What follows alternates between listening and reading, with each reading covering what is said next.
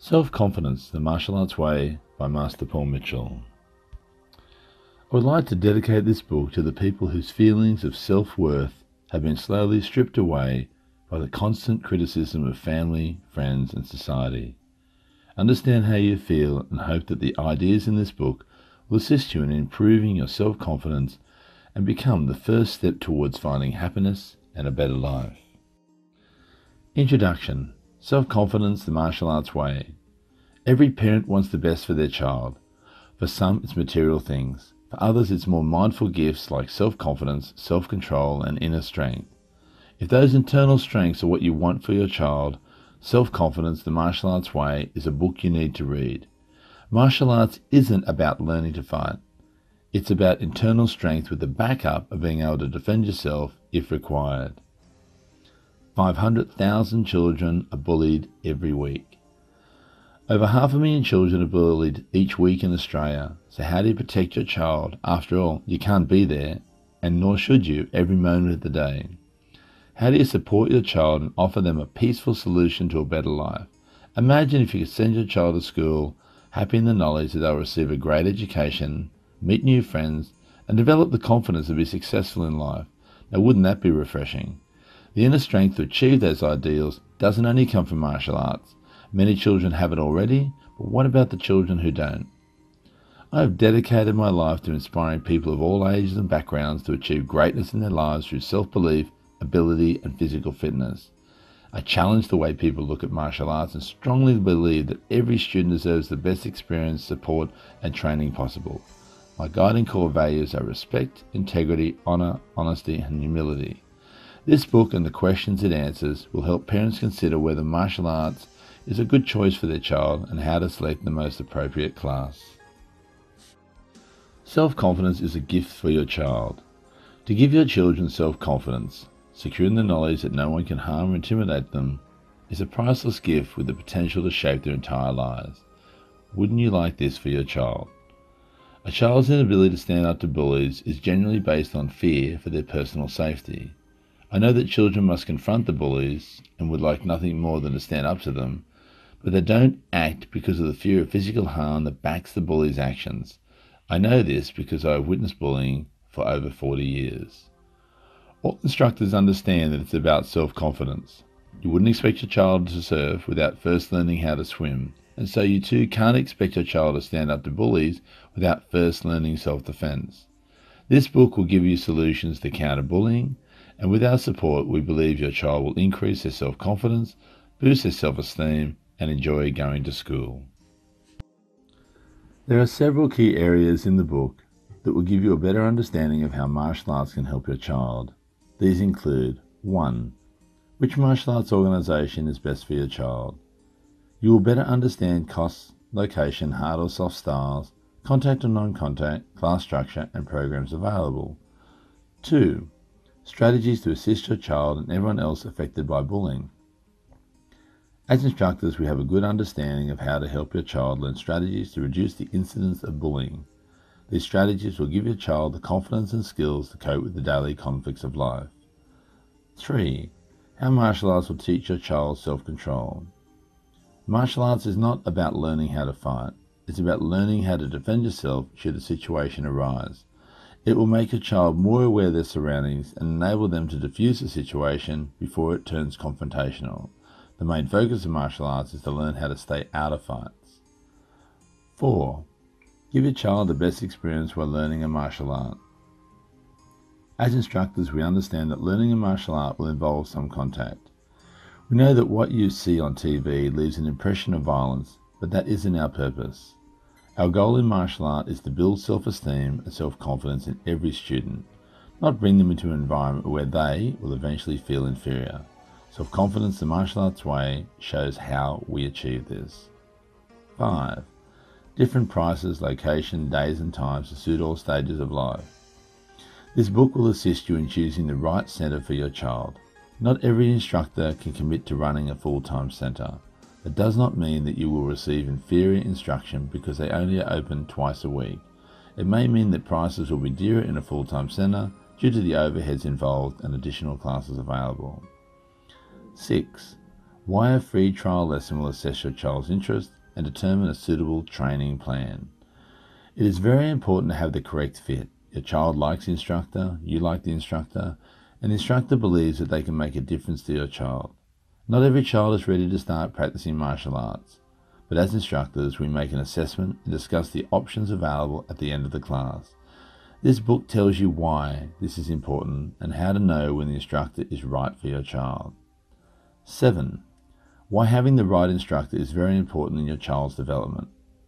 When a student begins their journey in martial art, there is so much to learn. It is exciting as you go from beginner to someone with many skills.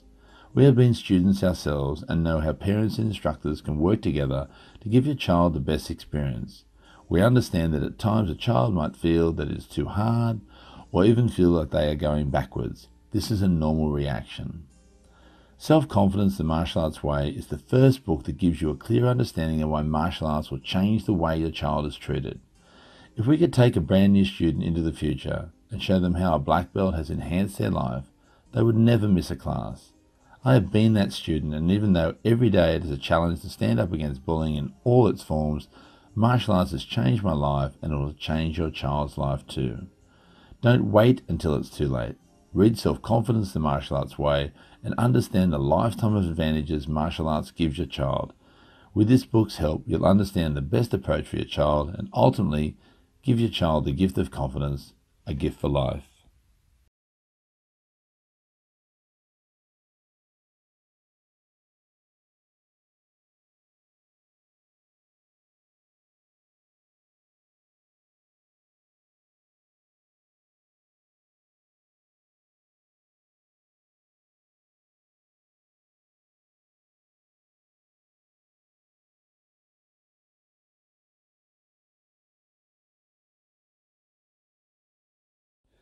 The loneliest people are the kindest, the saddest people smile the brightest, the most damaged people are the wisest, all because they do not wish to see anyone else suffer the way they do.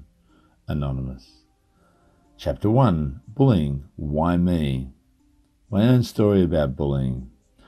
I was at school and just six years of age when I received my first punch in the face. It took me by surprise. I couldn't understand why someone would hit me. I thought everybody liked Paul. One day I told a friend that I knew something that he didn't, and he punched me until I told him. On another day, we were playing brandings on the wall, and I threw the ball a bit low, and I accidentally hit the person below the belt. That person ran at me and kneed and punched me and made my mouth bleed. I always wanted to play on the A team, but seemed to always end up on the B team. I continually found myself placing a lot of effort into any sport that would give me a better chance at being selected to play with the best, but it never happened. In the end, all I did was neglect my studies and receive an average mark in my final exams. When my friends were being bullied, I was never confident enough to help them, even though I felt that I should. After an incident, one became angry with me and said, Why didn't you stick up for me? I said, I didn't know what to do. Looking back now, I think it was because I lacked the confidence to say stop, and I thought that if I said something, they would attack me. I lost a few friends along the way because I did not support them. Bullying continued throughout school, and it is hard to pinpoint why. Looking back now, it's possibly because I was an easy target to unleash their anger, knowing full well that I would forgive them the next day, and sure enough, I did. I unofficially began learning Taekwondo at the age of 15, and bullying stopped when I officially joined my local martial arts centre at the age of 16. I've always had a passion for learning martial arts and used to watch the local master instructor teach Taekwondo just down the road from where I lived. I would then come home and practice what I had seen. I found that my confidence began to improve. Then came the day at school when I was involved in a serious confrontation with another student. I used some basic self defense and, thanks to Taekwondo, diffused the situation quickly without injury to either person. When I arrived home and explained to my parents what had happened, they instantly supported me and allowed me to join Taekwondo movement, which has now become a major part of my life. I never really let on to my parents that I had been bullied at school. I've always been a happy person and was never one to hold a grudge. So in those early school years, even on days when I was bullied, I'd come home and make out that everything was okay at school. It took 10 years of bullying before I decided to let my parents know what was happening. When they found out, they supported me straight away. Looking back now, my advice to school children of today is not to hide the bullying or any issue, but to talk to your parents. What has martial arts done for me? Quote, Never underestimate what you can accomplish when you believe in yourself. Never give up. Martial arts has increased my self esteem and self confidence and given me the strength and courage to stand up for myself. When I was promoted to instructor, it gave me the opportunity to share my knowledge and experience. It has given me discipline, perseverance, self control, and an indomitable spirit to spread the word about the benefits of learning a martial art. Bullying is a cancer. As an instructor for the past 40 years, martial arts has helped me understand that nothing undermines our task of helping a child thrive at school more than the disastrous and soul destroying impact of bullying. I see it in children we help every day. Our focus is on cultivating the correct mindset in students so that they will have the insight on what they are trying to achieve. We work hard to then give them the determination to make it happen. When a new member joins a martial arts centre, we start them off with small challenges that are achievable. Over time, their mindset becomes strong enough to accept larger challenges. We conduct anti bullying programs in a number of schools around the country as a way of supporting individuals and giving them confidence. I really enjoy the interaction with students and seeing the change in their self belief. When students have the confidence to stand up for themselves, they respond and are able to support others too. Sooner or later, most children will be the target of some form of harassment verbal, physical, or psychological. You can't control how other people treat your child, but you can control how your child responds. As a parent, you have an important decision to make. Will you react to the bullying after the fact, or will you start bully proofing your child today? My black belt grading. I would like to share with you the story of my black belt grading. After five and a half years of preparation, I wondered if I had what was required to promote to black belt. I practiced my pattern hundreds of times and was only required to demonstrate my pattern once. The first free spar was against a senior student who had great technique and more reach. I was going well and then I performed a jumping back kick and placed both feet on his chest. This is considered difficult and my confidence grew immensely. I realized that I had what it takes to be a strong black belt. They sent in more black belts for me to spar, but after training seven days a week, I was in peak condition and able to take anything that they gave out. The last requirement was board breaking, and on my first two attempts at a side kick, I was unsuccessful in breaking two boards. Then I heard the master yell out, last time. That was all the encouragement I needed as I thought to myself, I've not come this far to stop now. With that, I smashed the board so hard that I broke the front board in three pieces. Turning kick and jumping back went as expected, but I hit the hand of the holder for spinning heel and was unsuccessful in breaking a single board.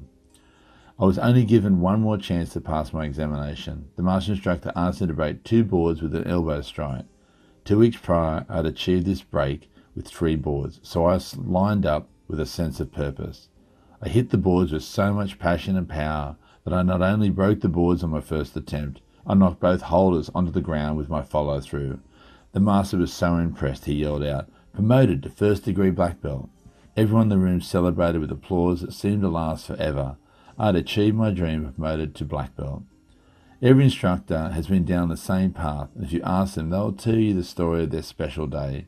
It is a rewarding challenge to sit for your black belt, but as every instructor will tell you, there is no greater honour to pass on your knowledge and watch one of your own students achieve their goal, whether it is receiving a black belt, a new technique, or breaking a board.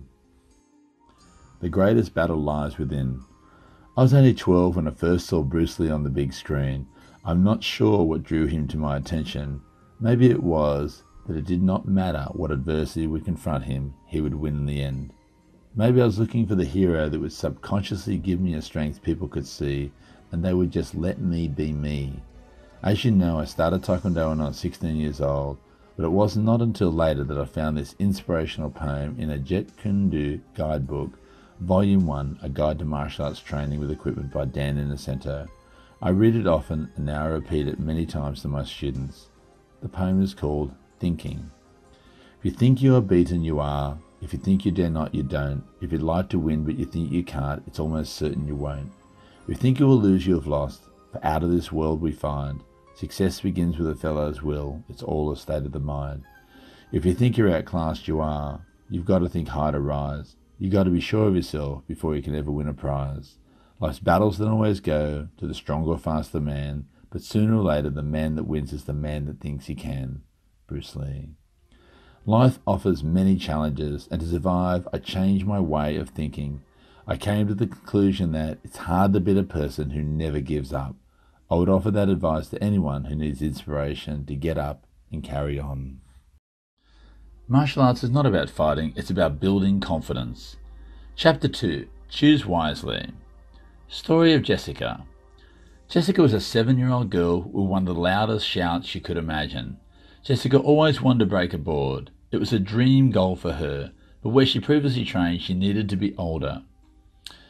During the day, I run training sessions in schools. I use a plastic rebreakable board so that students can experience what it is like to break a board like a black belt. In order to add a different feel to the experience, I began using wooden boards cut down from 250 millimeters long to 100 millimeters.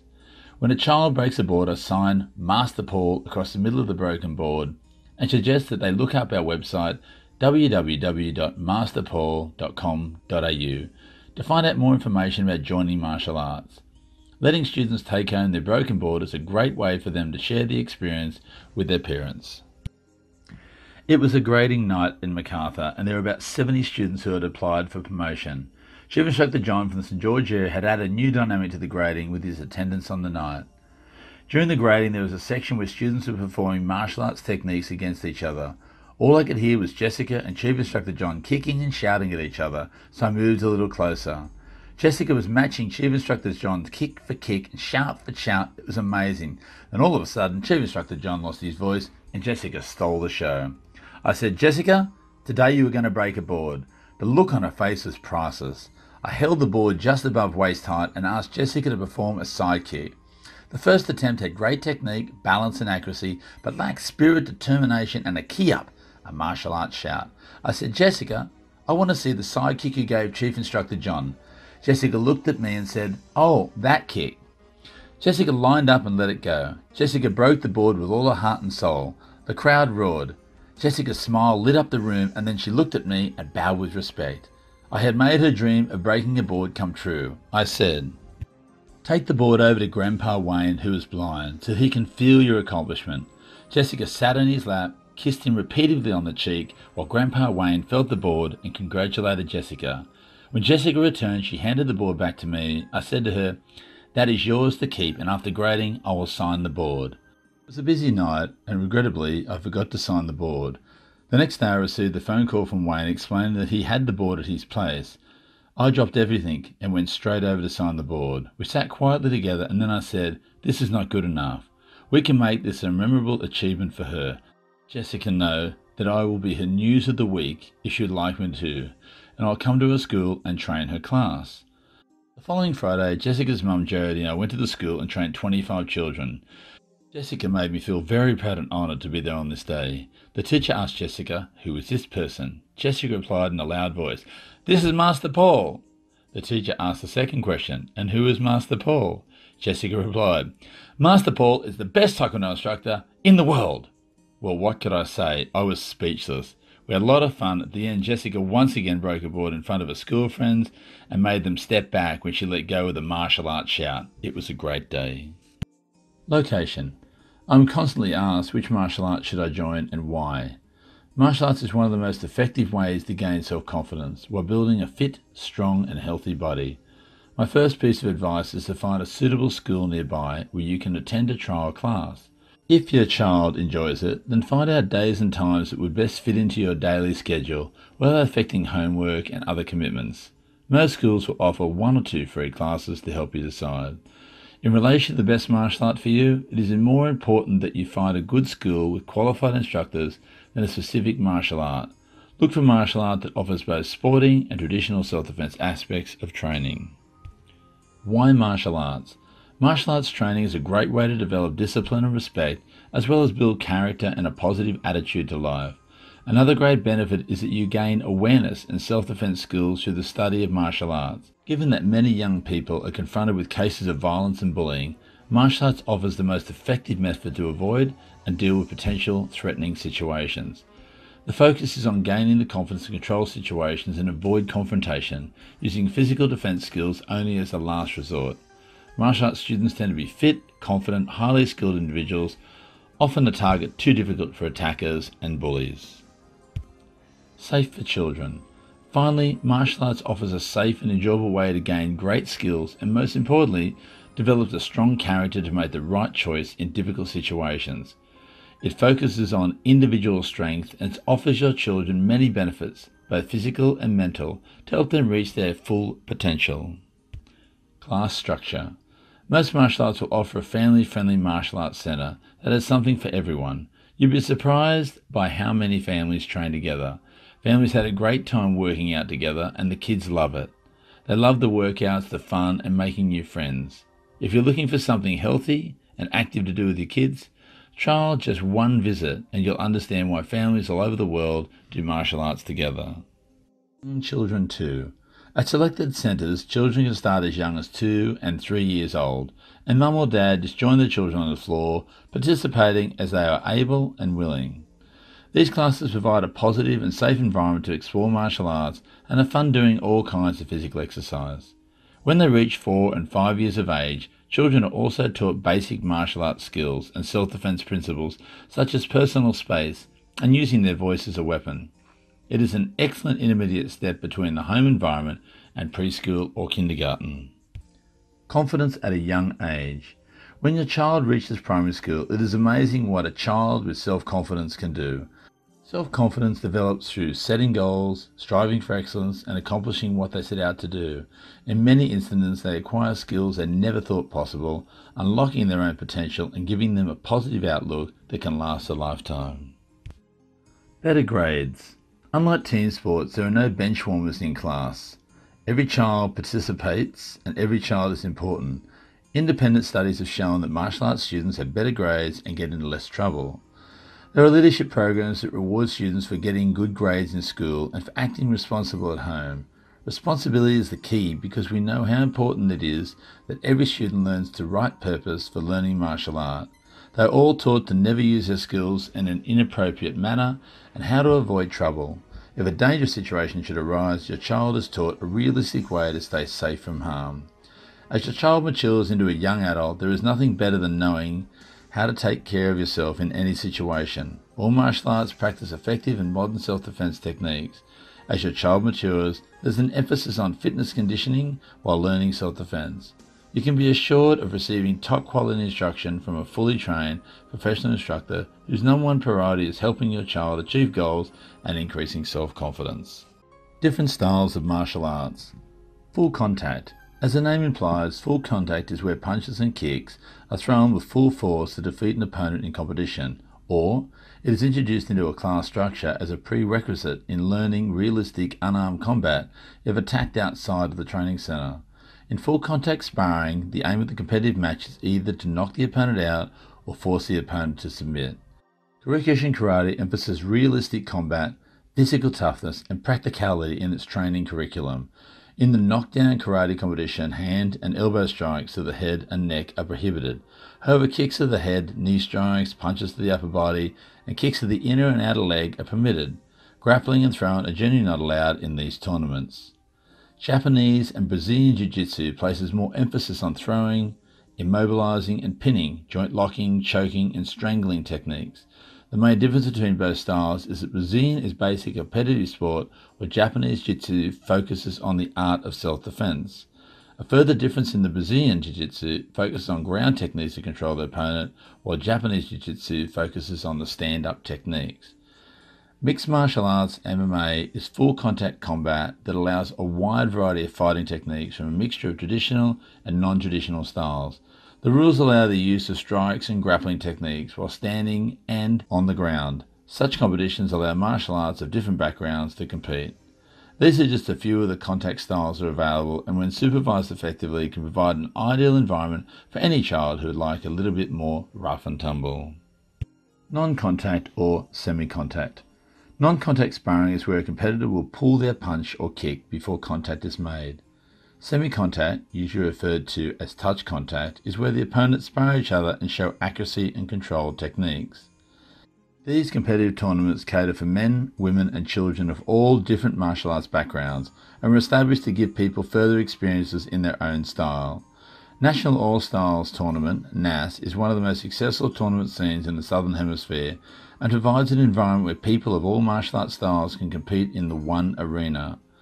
In the case of point sparring, the aim of the competition is not to knock out your opponent, but to rely on speed, accuracy, and effective technique to score points. There is normally a referee in the centre of the ring and two judges on the outside looking for legal and illegal techniques. When an opponent is leading by 8 points, reaches 15 points, or one is disqualified due to illegal techniques or too much contact, the winner is decided. In the case of a draw, an additional minute is added and the competitor that scores the next point is declared the winner. If no point is scored, the centre referee decides the winner. In the case of continuous sparring, a referee monitors fouls to control the match.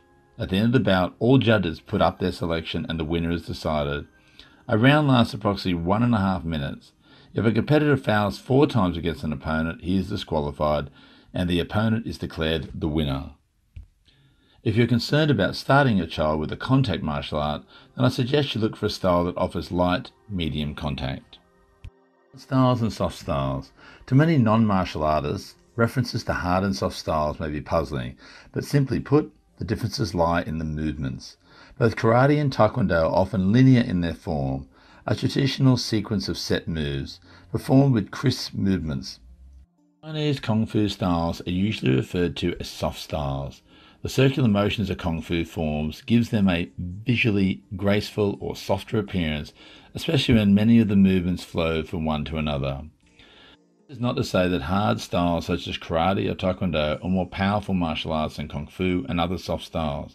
The term soft is a bit misleading because the power from circular kung fu moves is often hidden. Circular moves can generate just as much power as linear ones. It is often just a personal choice, or even the latest movie when it comes to encouraging children to join.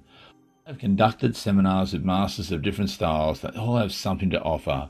You just need to get a feel for what would suit your passion. I guarantee you won't be disappointed with your decision if you focus on technique and not just promoting through the ranks to achieve a black belt. Take your time and enjoy every grading and every promotion. Quote, it is not how fast you get there. It is not what is on the other side. It is the journey towards black belt, which should be the focus. Instructor's role. As martial arts instructors, we have unique challenges in our responsibilities towards our students. It is no longer enough that we are proficient in kicking, punching, throwing, and twisting joints. These days, instructors are good leaders and mentors to our students as we guide them in their martial arts development. The goal of every instructor is to produce students who can carry on the tradition of their system and their legacy. However, today we are faced with young students who are often without a father figure in their home or lack a proper role model. Sometimes an instructor's leadership and mentoring skills are the only thing that separates a child who may someday be success from one who will continue to fill our prisons. Your child can, not can't. Instructors understand that we need to lift people to higher levels. They show them why they can instead of why they can't. They guide them to be great people and not just great fighters. They give people something to think about rather than just a good training. Feelings are wonderful things, but you can't live by them alone. You must also have some life skills. I'm a student, an instructor, and a parent. All these roles have their challenges, and at times it is overwhelming. What keeps me going is the difference I can make to someone's life. When you can get a person to achieve the unachievable, it gives them strength to accept any challenge. Over time and with your support, your child will be able to share their knowledge and make a difference not only to their lives, but to the lives of others. Results driven. The Ideal Training Centre is a great place for a student to learn some of life's important lessons. These can include discipline, respect, determination, indomitable spirit, honour, honesty, and humility. They'll also enjoy the social interaction, building friendships, and ultimately increase their self esteem and self confidence to deal with the daily conflicts of life. How do you get them working at home? If your child has started martial arts and you hear the instructor say, practice at home, we all know what's going to happen. So, what you can do to encourage your child to train at home. Give them a reason.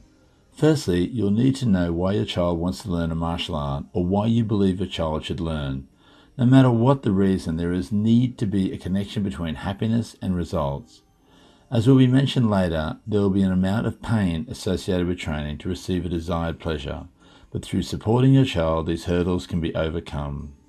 If training is just for fun, then practice at home will possibly only happen through pressure from yourself, which will ultimately end up with your child becoming unhappy.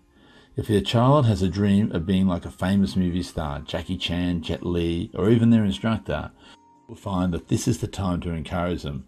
Just remember not to let your dreams be the driving force behind supporting their dreams. Join in yourself. Another way of assisting your child in training at home is to take more of an active role in their training. I'll give you a better understanding of your role in martial arts later, but simply put, parents can start training with their child. When we mention this to parents, we get the look followed by, I couldn't do that. That's too hard for me, or I'm just too old. All we do is smile and explain that the majority of people feel this way, but more parents are joining with their children every day. Once you join with your child, you will gain a better understanding of what your child is going through, and because you'll encounter similar challenges, you'll be able to assist your child from an adult perspective. More ways to get them to train at home. Now that you're on board, here are some of the other suggestions to help your child practice at home. 1. Take training outside of the home, as some children will associate training at home as a chore. Go to the park or beach your child enjoys and get them to do a bit of practice. 2. Let your child become the teacher and help you become better and make it fun. 3. Look for improvements and reward them with praise. If I could explain how simple it can be to encourage a child, I'm sure you'll understand. My child was learning how to play the guitar at the school, and I knew that one child in the group was not very good at all. But at the end of class, the teacher made a special reference to the child in front of the group and told everyone that Samuel played the best G note that he had ever heard. I could see that Samuel was very happy when he left the class. At the end of the class, asked the teacher, Was it that good? He explained, As a teacher, you need to find something good in everyone to inspire greatness. I took that lesson and now use it in my everyday life. Pain or pleasure?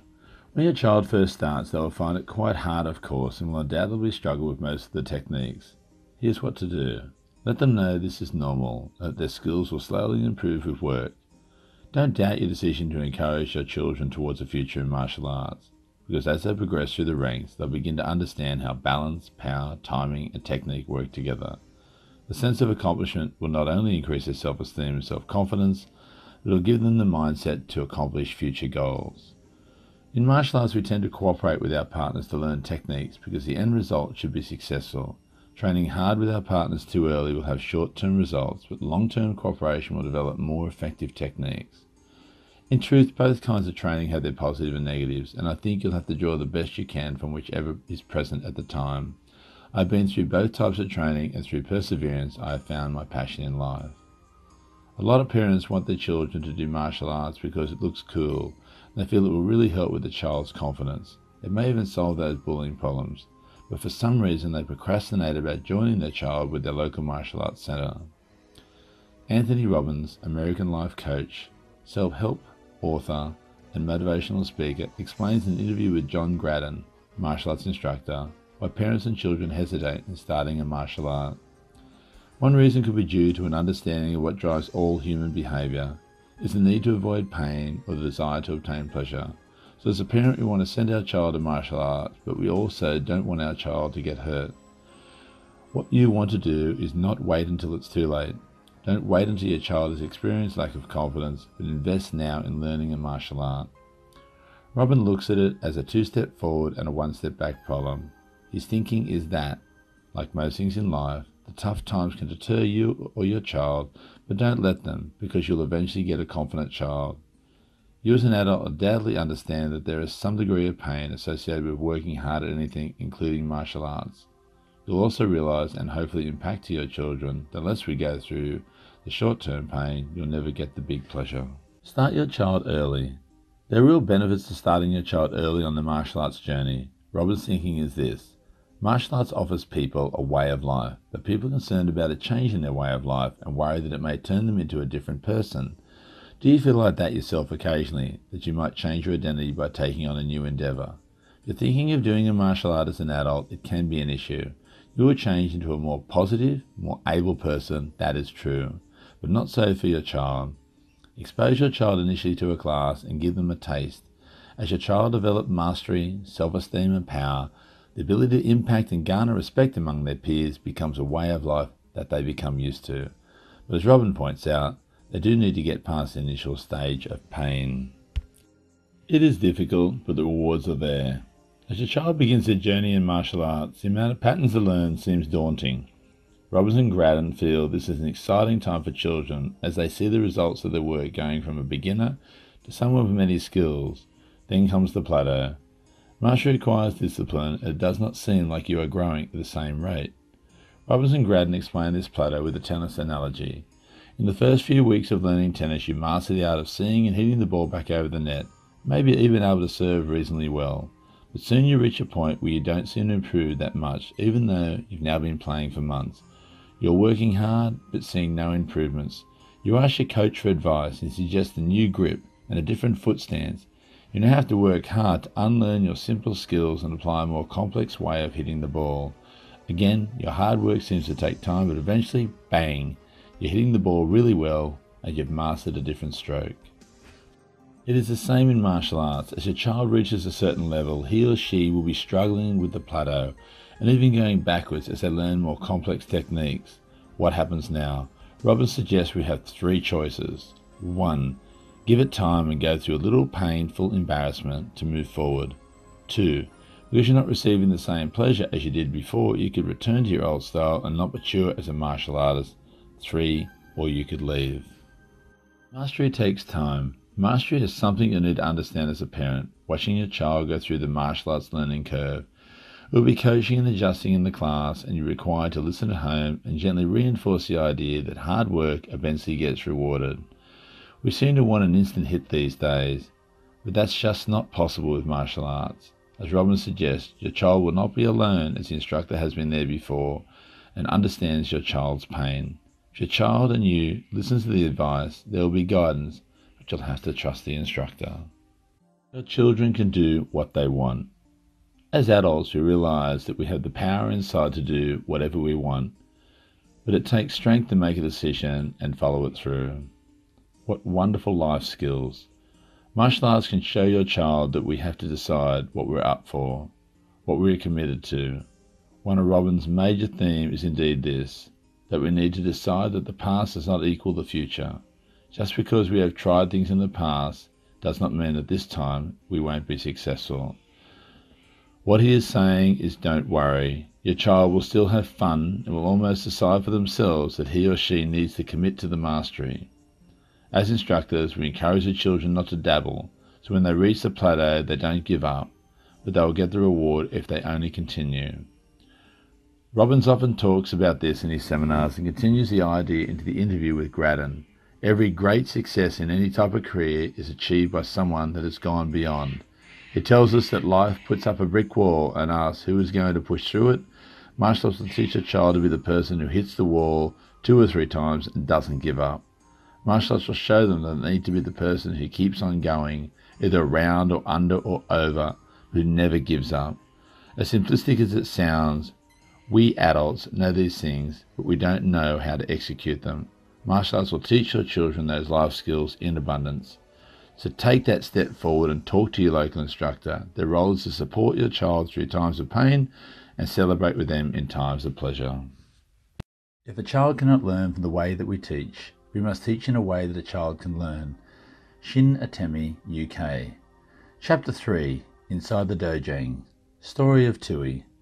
The special bond that can develop between a student and their instructor can last a lifetime.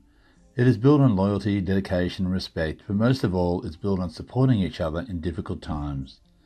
I remember when Tui mother and Tate daughter first came to our dojang at Carlton. Tui did not join in straight away, but was very supportive while her daughter progressed over the years and reached the level of blue belt.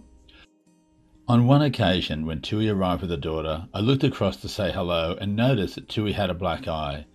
I did not ask her what had happened.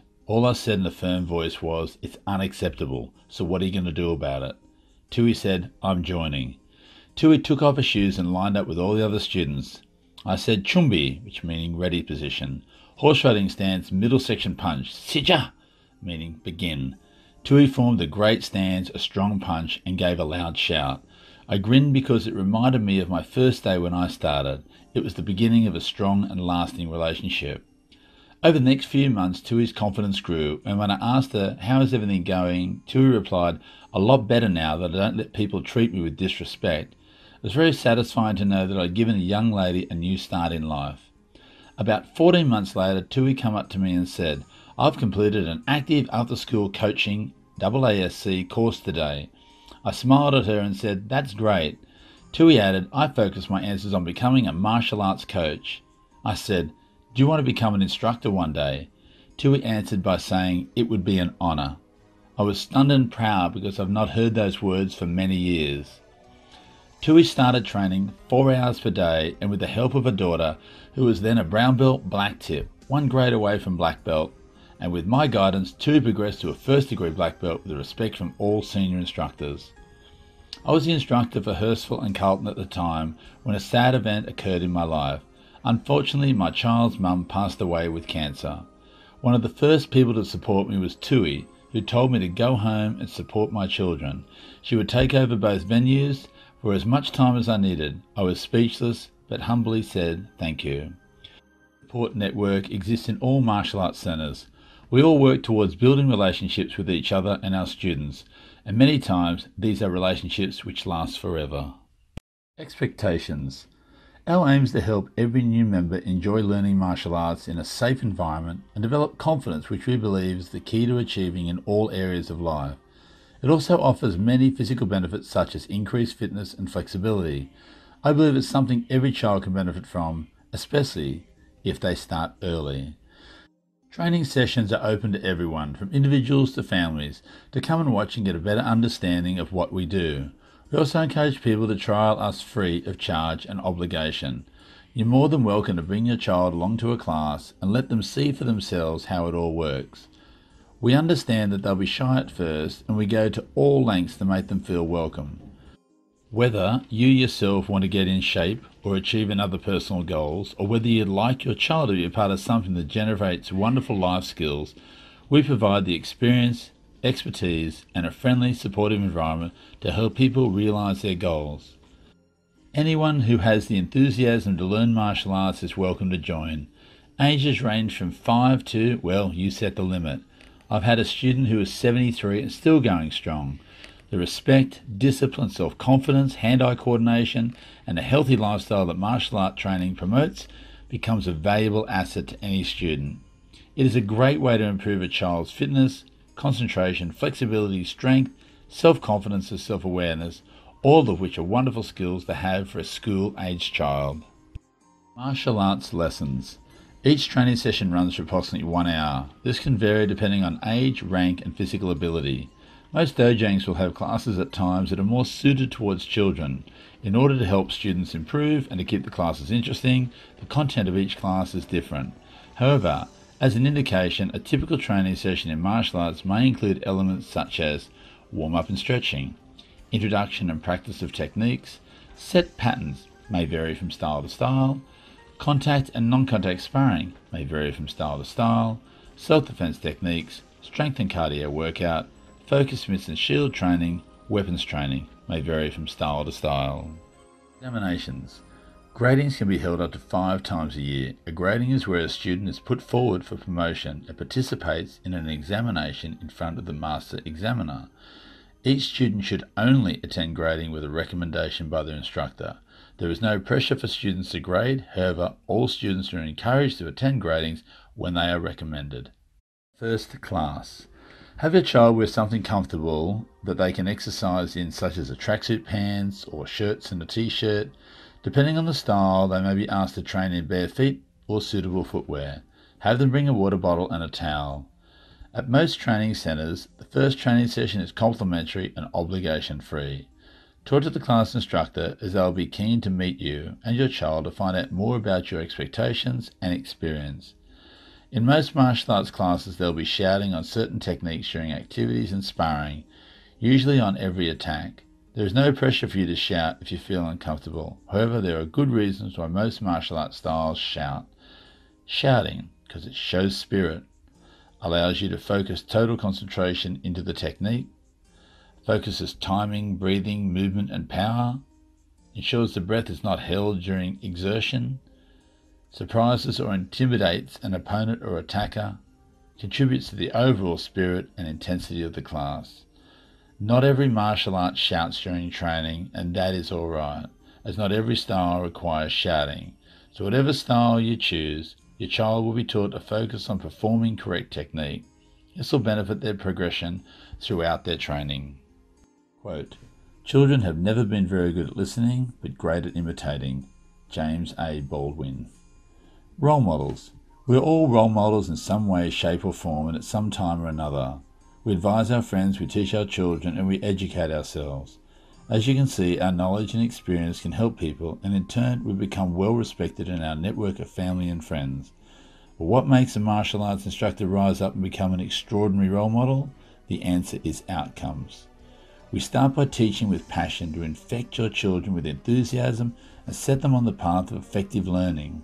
Then we focus on effective teaching methodologies and strategies to achieve better outcomes for your child and the instructor.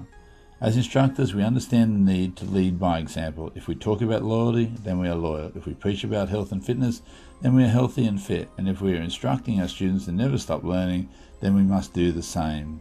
This positive learning environment changes your child's outlook to better enable them to deal with the daily conflicts of school. At the end of the day, an instructor is focused on getting your child to think for themselves.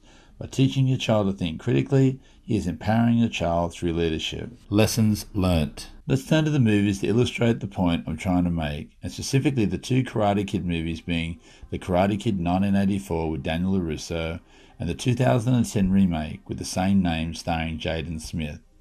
Both children were bullied and could not see their way out of the situation. Both were increasingly unhappy because of the weight of the bullying and the feeling that their lives were out of balance because of it. Both had instructors who guided rather than told, and both learnt powerful lessons by instigating their training in ways that they could be proud of. In the final tournament scene in The Karate Kid 1984, Daniel has his leg damaged and is in the change room with Mr. Miyagi, his instructor and friend.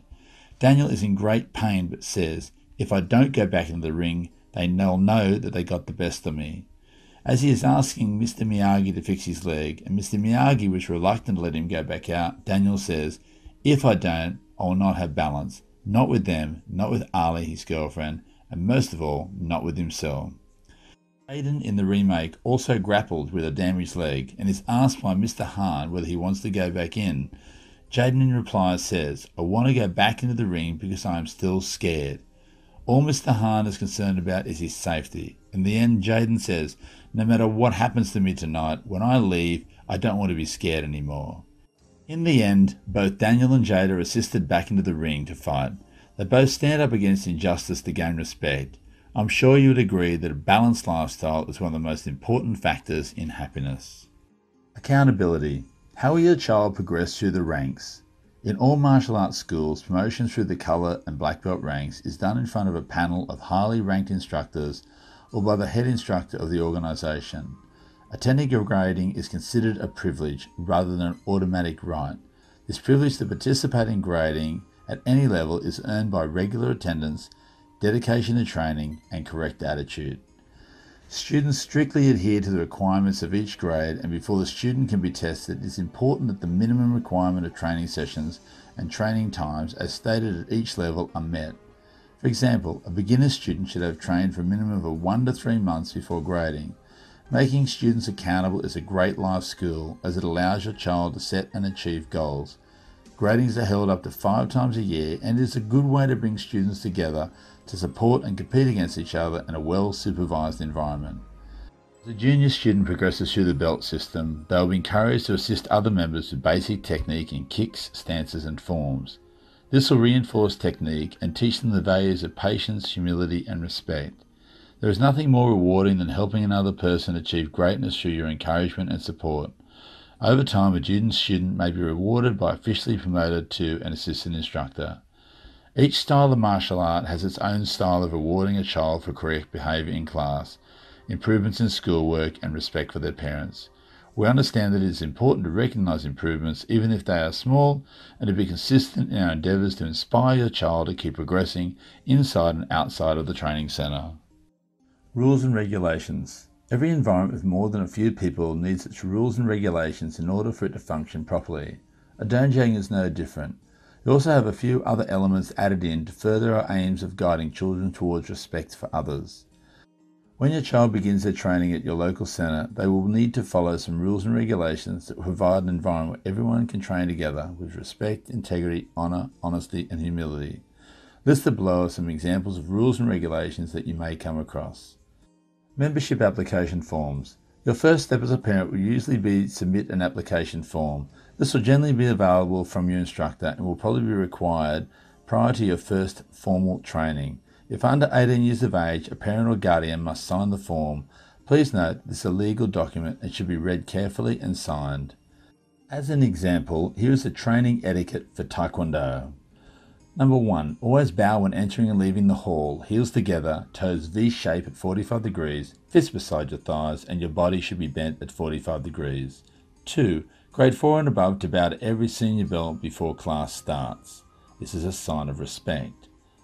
Three, while waiting for training to start, practice your pattern, technique, or stretch. Do not run around the hall or talk.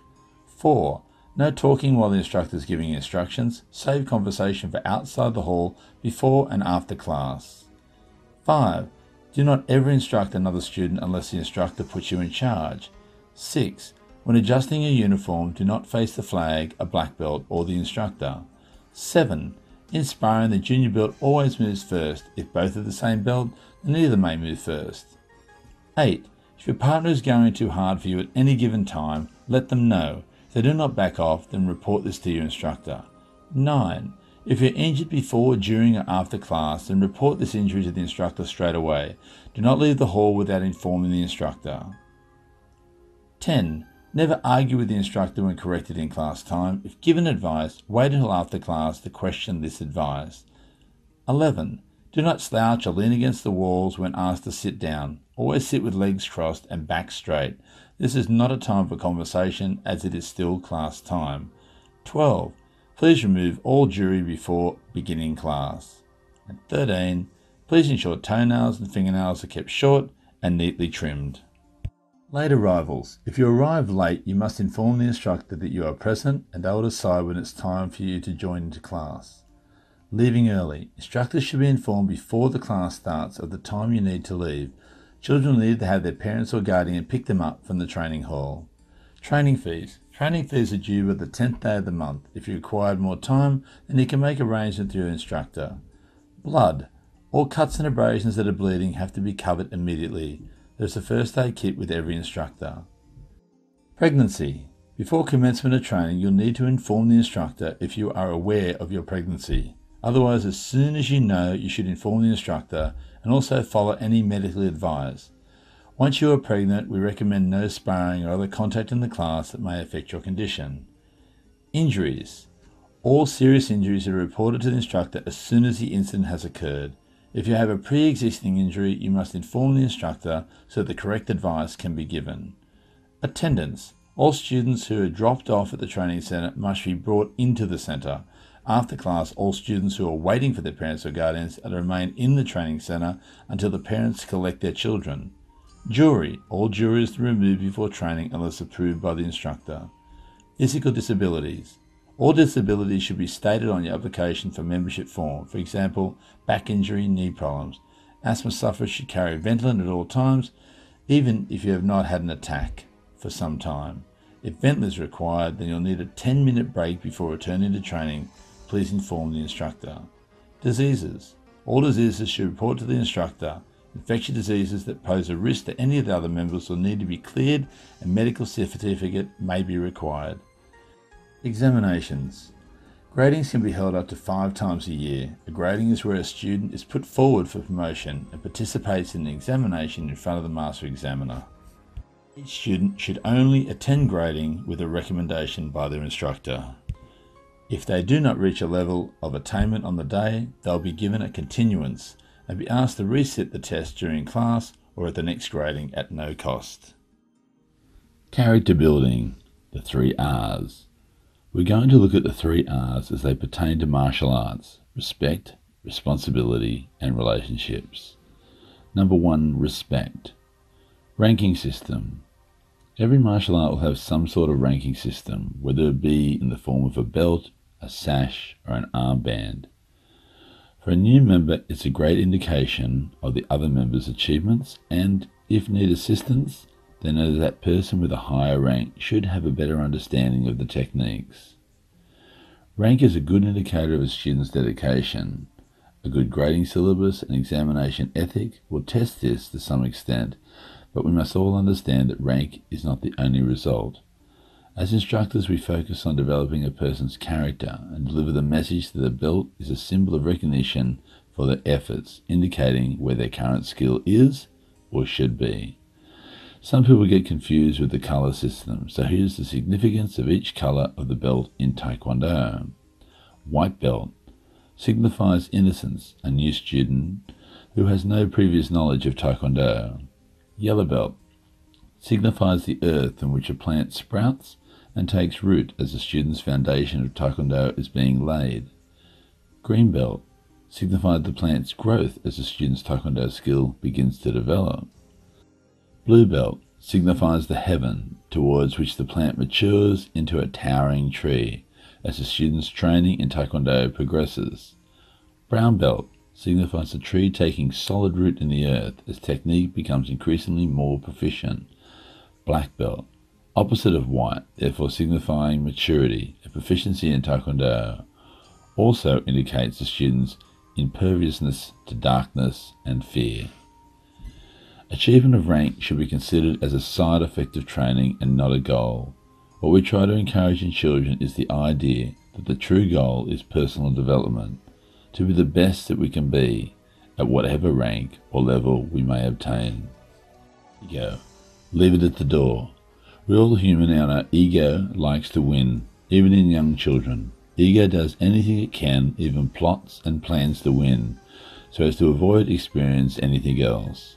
As instructors, we try to build an environment that allows a person's ego to remain intact. We challenge ourselves and our students and constantly look for new and achievable goals with each lesson. Quote, if you want to learn things that others do not know, you must be willing to do things that other people do not do. Being involved in martial arts becomes something special as your child grows in maturity. Most people are not willing to strive for extraordinary. Martial arts can be the perfect environment for extraordinary achievements, and your child is encouraged to grow a little with each lesson. We show them how not to settle for ordinary, to work to strive towards a goal, and how hard work has rewards. The less attached we are to needing to win, being right, being comfortable or safe, and the more willing we are to take some risks, the more things we will discover about ourselves, and the more our ego will be left at the door. Giving propagates a chain reaction. A lot of children understand the concept of giving, but prefer to receive because it gives them more pleasure. Think of Christmas when you were a child. There's nothing wrong with receiving per se but we also reinforce a very clear message that giving is more important than receiving, and that it is important that we learn to be givers. We will give your child responsibilities in class that involve them helping other students.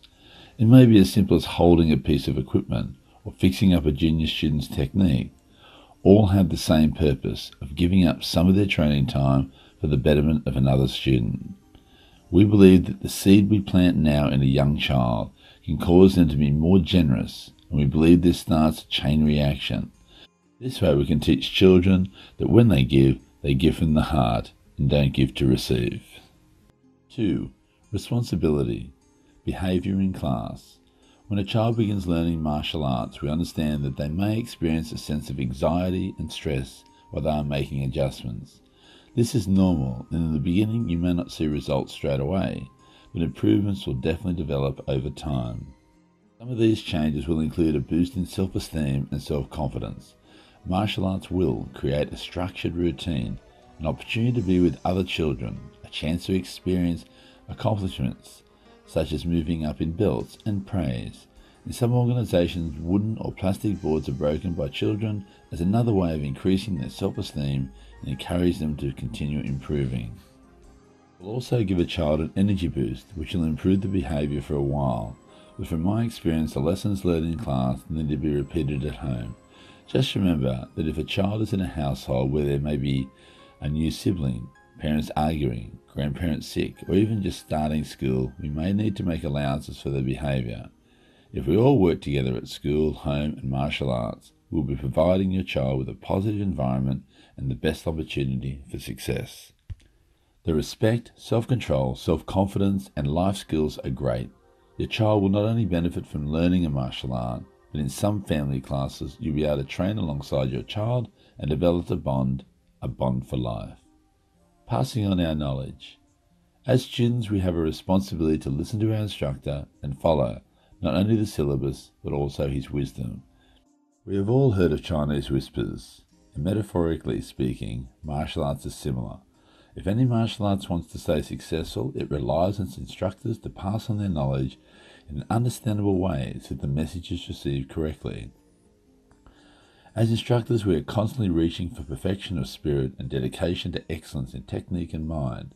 This is a responsibility we hold. Hopefully, through our guidance, all students will follow a similar path in everything they do, inside and outside of the training centre. 3. Relationships Instructor student bond. There is a bond that develops over the years between an instructor and student, and it can last a lifetime.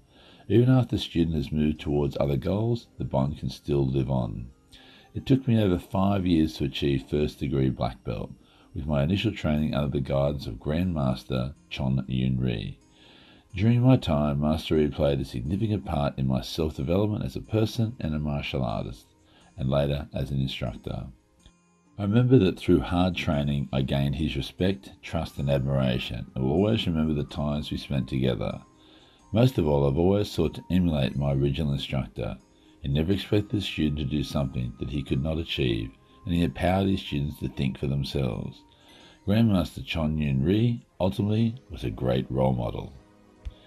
When I first started teaching in 1983, I began my instruction under Master Chon Chul Ri, Grandmaster Yun Ri's brother.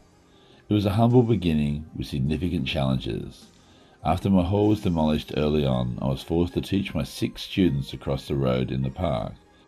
However, as my experience grew, so did my membership, and after 23 years, I built two regions and over 300 students.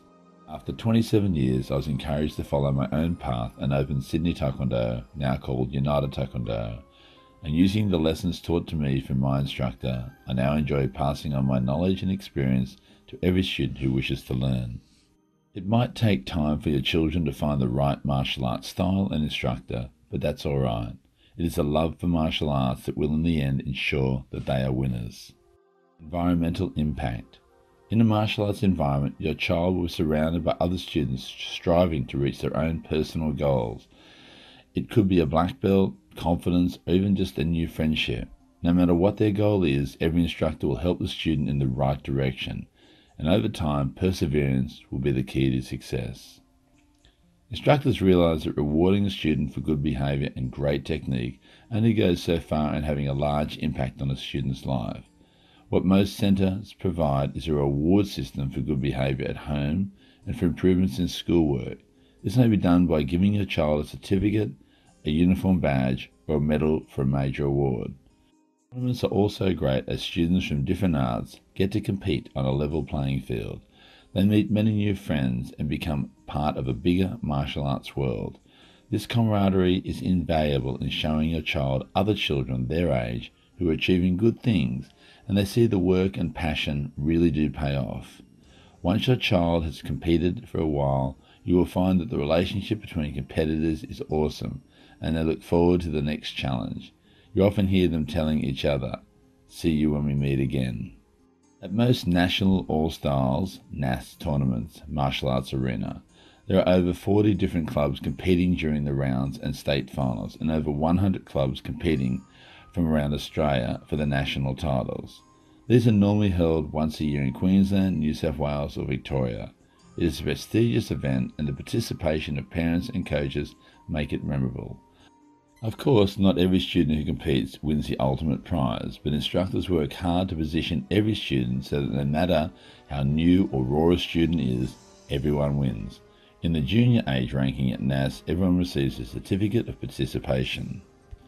Overall, martial arts provides a strong environment, and by following a structured program, your child will progress through the ranks, be given responsibilities, and build friendships based on respect. Not only will your child learn new fitness skills, they'll also develop a new way of looking at the world around them, one that is based on respect, patience, and humility. He who angers you conquers you. Elizabeth Kenny. Chapter 4 Aggression or Self Control. We all react. The key is how we react. Martial arts teaches calm self control that seeks to diffuse tension, not inflame it. Story of Issa. In 2006, I began trialing a personal development program using Taekwondo as a way of tackling the ever increasing risk of students becoming victims of bullying. The first program was designed especially for Stage 3 students of Carlton Public School, which is located in Sydney. The main philosophy of the program was to increase the students' self esteem and self confidence and encourage positive attitudes and behaviours. Each week, the students would receive theory lessons in anti bullying and personal development, had the opportunity to practice what they had learned during the Taekwondo lesson. Originally, the school had organised five lessons to some of its male pupils, but the program was so successful it was offered to boys and girls from years 3 to 6. The class was always full, and about 30 children enjoyed performing basic taekwondo moves. Naturally, they especially enjoyed the part where they could punch and kick mitts and shields. It was during this program that I first met Issa. Issa was in year 5 at the time, small in stature, big in self confidence. What I noticed was that he always wanted to go first at any cost, so that he could show everyone how great he was. Even this meant pushing in front when we lined up to do our training. I noticed that Issa kept rebooking the program and returned 25 weeks in a row. His attitude improved so much over the weeks, and in the 25th lesson, we witnessed an amazing act of inspiration. While we were kicking the shield, Issa was holding the shield for his partner. I've always suggested to students that they should try and help their partners achieve the best results, but I did not expect to see this happen with Issa. However, on this momentous day, Issa not only encouraged his partner with words of greatness, but he started to encourage everyone around him. This had such an effect on the class that everyone started to encourage everyone. The feeling was electric and extremely memorable. I told Issa that one day I'd give him a proper thank you for what he had done. He looked very proud as he said, Thanks, Master Paul. Issa really enjoyed training with me and soon joined the evening United Taekwondo class at Carlton Public School. About 18 months later, Issa was grading for his blue belt, about five promotions away from black belt. As he was standing in the middle of the grading hall, I sat everyone down except for Issa. I told the story of the old Issa during the personal development program and how Issa was all about me, me, me at the time. Then I let them know that Issa is now one of my best students and how many lives he has changed through leadership and inspiration. I asked Issa to demonstrate a pattern in the middle of the hall in front of 200 people. It was amazing to see a young boy so passionate about his martial arts demonstrate one of the most explosive patterns I've ever seen. Crowd's applause seemed to go on forever, and when it subsided, I leant forward and quietly said, Now that's how you say thank you. He gently smiled. The deputy principal for Greenacre Public School happened to be in the audience that night, and she came over to me and said, that was fantastic. You are coming to my school. I was very happy, and later in the book, I'll let you know what happened. Issa is still training, and every time I see him, we exchange a smile, always remembering that because he developed a passion for helping people, we developed a bond for life. Testing grounds. Often I ask children the question, is it alright to get angry? There are a lot of mixed responses until I put up my hand and say, yes. They look at me strangely until I explain that yes, it is all right to get angry, but the secret lies in how you deal with the problem. That's what makes a difference. What do I mean by that? I normally give the example of someone cutting you off in traffic. The solution most people take is to get angry, shake their fists, yell obscenities, and think about getting out of the car. But honestly, what does that solve? I tell and teach my students how not to react to a situation because it is based on emotions, but how to respond in a calm manner. After all, who knows what is going on in the driver's head? Maybe the driver was stressed about something, panic about an ill relative, or elderly, or very nervous on the road. We all make mistakes, and perhaps the driver was not aware of what he had done. While your child is training in different arenas, they will experience similar feelings of anger and frustration. They could be in a training centre, at a seminar or demonstration, at a grading, or competing in a tournament.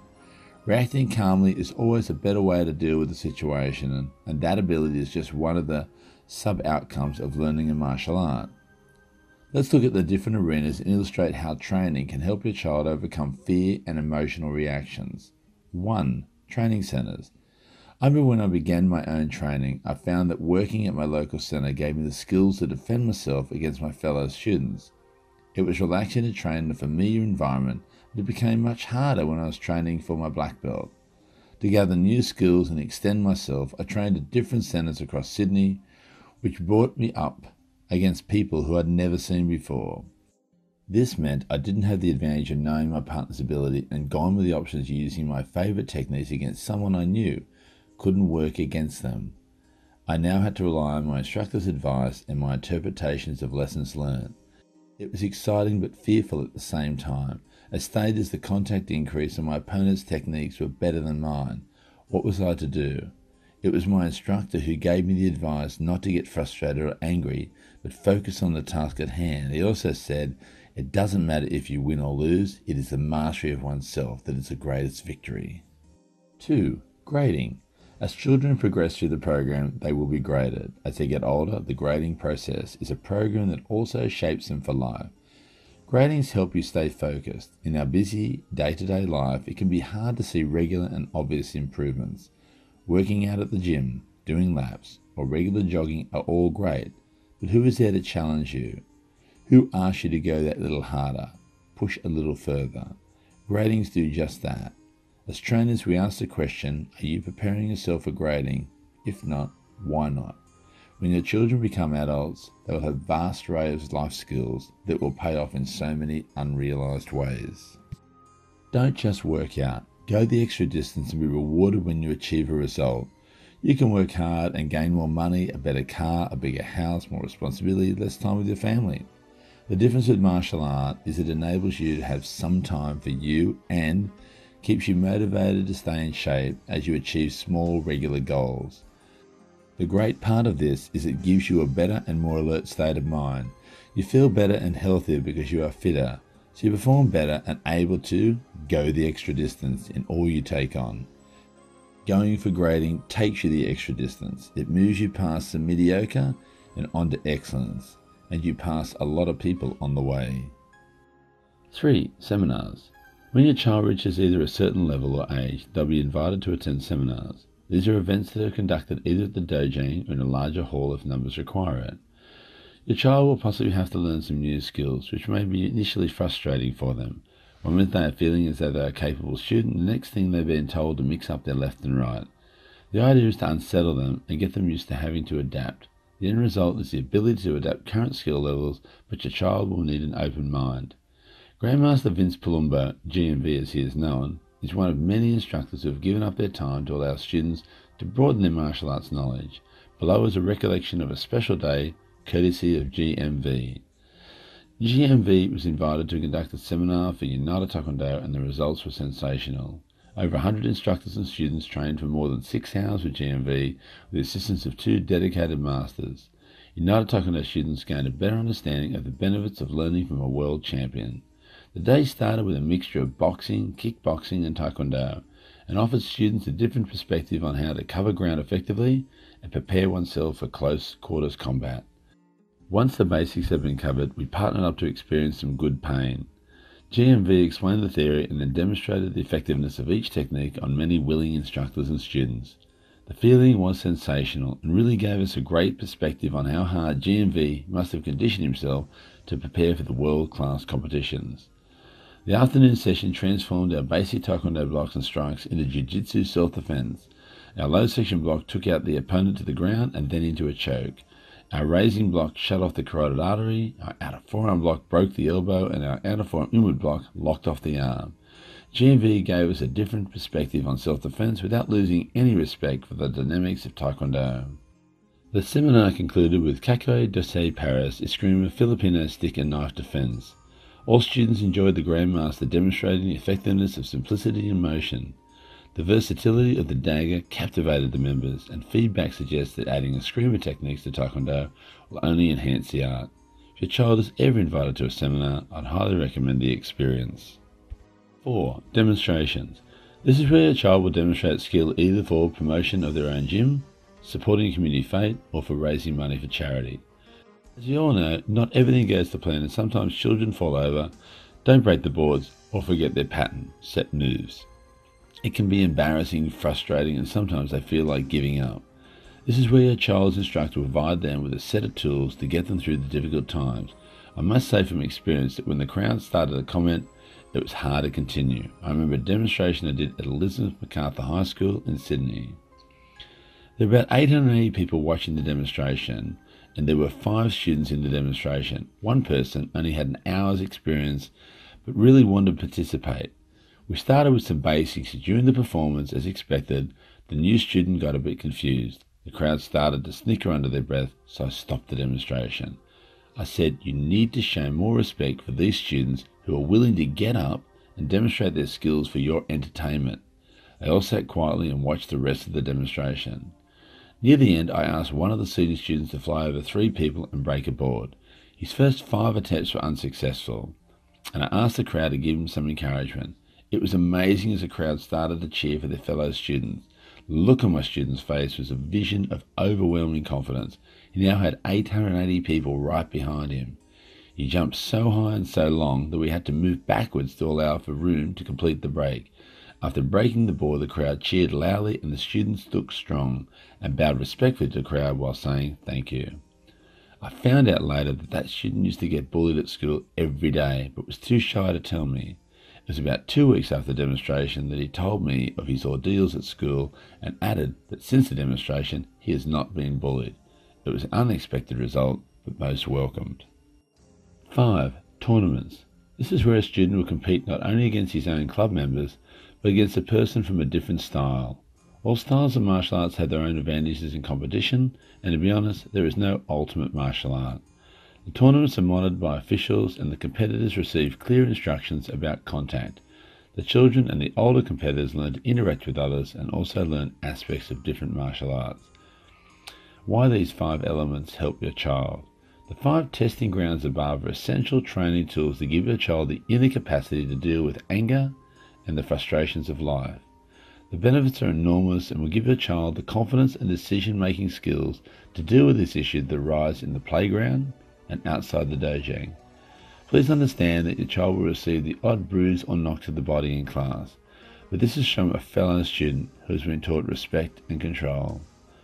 Outside the dojo, there are no rules. No one to stop the bout if things get rough. The experience from training and competing is priceless in helping your child deal with life. Self mastery. Many students want more knowledge of how to increase their fighting skills than just training. In some ways, the martial arts style you choose for your child will determine whether they work on increasing their fighting skills, focus on aesthetics of their forms in pursuit of competition points, or study the forms to find the key to the most effective moves for real combat. In order to value forms, it's necessary to understand why the founders of our art developed forms in the first place.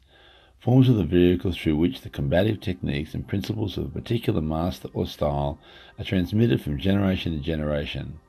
Will take time to fully understand in sufficient depth the true meaning behind the techniques, but with patience, persistence, and perspiration, it makes an unbeatable combination for success. Not every child will want to perform patterns of sets of moves, but personally, it tells me a lot about a person within.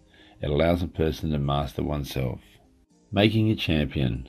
Quote, it is better to have a class of champions than only one champion in the class. As instructors, we have the responsibility to train everyone to be promoted for grading. The problem is time. Every student would love to achieve their black belt tomorrow, but they need to realize it takes time. During their training, they'll need to mature as a martial artist. It is normal for a student not to promote too fast. It is at some point they'll become disappointed on the same level, either because they are not going fast enough or their skills aren't improving. The trick is for your child to trust in their instructor and follow their advice, and eventually you and they will see the results far beyond expectations. We have been students too, and through dedication, loyalty, perseverance, integrity, and respect, we have been successful. We want to give your child the same skill set so that your child will experience the same results. Don't place too high expectation on your child because if they can't achieve what the other students have achieved at the same time, they may leave or lose confidence that one day it will see them rise up and become a champion in their own eyes.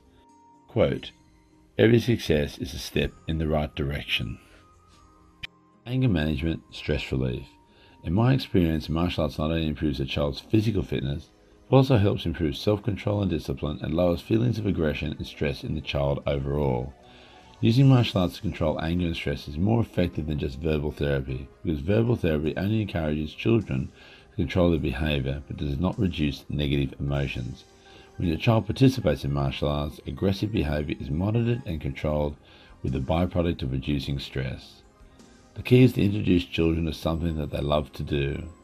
Finding something that motivates them gives a child a sense of purpose and decreases the likelihood that they will act out any behavioral problems. Surrounding children with like minded people who are willing to share their knowledge and offer support will offer your child the best environment for success. Life may test you, challenge you, shake you, or break you, but how strong you stand is what makes you. Shin Atemi, UK. Chapter 5 Yes, I can do it. Success stories. We all look at others and think we can't achieve what they've achieved because of this reason or that. Children are actually better at having the confidence to say, I can do it. It's we adults who often have more of a problem and the truth of it is that we can all achieve a goal if we put our minds and heart to it. The secret is just doing the hard work to get there. There is no better proof that we can all achieve amazing things than the case studies I share with you here. Story of Ben. When I started my own organisation in 2006, there was a young black tip named Ben. This is his story. Ben was a shy student when he first started, but after years of training, we reached the day when Ben was ready to grade for promotion to black belt. If Ben was successful, he'd become my first black belt under Sydney Taekwondo, now called United Taekwondo. There were about 40 students present on the night and about the same amount of parents watching on the side. It was the first grading I conducted on my own. I wanted everything to be just perfect. The night started with Ben performing his pattern. The pattern is called Chung Mu and consists of 24 individual moves that are linked together in a sequential format. Initially, I asked Ben to do the moves by numbers so that we can see if he is performing correct technique. Then I asked him to do it in his own time. Ben shouted on each technique, and after years of training, we saw a different side of this initially shy young student. The onlookers watched in amazement as Ben fluently combined all the individual techniques to perform an exceptional pattern with determination, focus, and speed. We moved on to the board breaking. As a junior student applying for black belt, we asked them to break using three techniques. The first is a side kick. This is where the rear foot lifts up and travels through the center line of the body, and as the foot nears the board, the hip is rotated over and the foot is parallel to the ground on contact. Ben broke the board on his first attempt with accuracy and speed. The next technique is a back kick. This requires a student to turn backwards and perform a similar action to a side kick. Again, Ben was successful on his first attempt. The crowd applauded each time, and Ben's confidence grew with each successful break. Then I called out to three people to crash down next to each other so Ben could fly over them and break his final board with a flying sidekick. Ben's face changed. I knew he felt challenged by this. I asked branch instructor Gary if Ben could fly over three people. He replied, saying he should make it, but it's not Ben's favourite technique and he might need some encouragement. The first two attempts were unsuccessful and the tension was building in the room with everybody craning forward, willing Ben to succeed. Finally, on his third attempt, he made it over and broke the board. The crowd roared as Ben landed, but I still believe he could do better. We moved on to free sparring. This is where you compete against a number of fellow students in similar rank, size, and experience. There were three students of free spar, and Ben was required to keep rotating between opponents until he believed that he had demonstrated enough endurance, skill, and technique. On the completion of multiple rounds, I still believed that Ben could do better. I said Goman, Korean for stop. Ben stopped and looked at me. I turned to the branch instructor and we began to free spar. At the completion of a demonstration, I turned back to Ben and said in a loud voice, Now spar like that.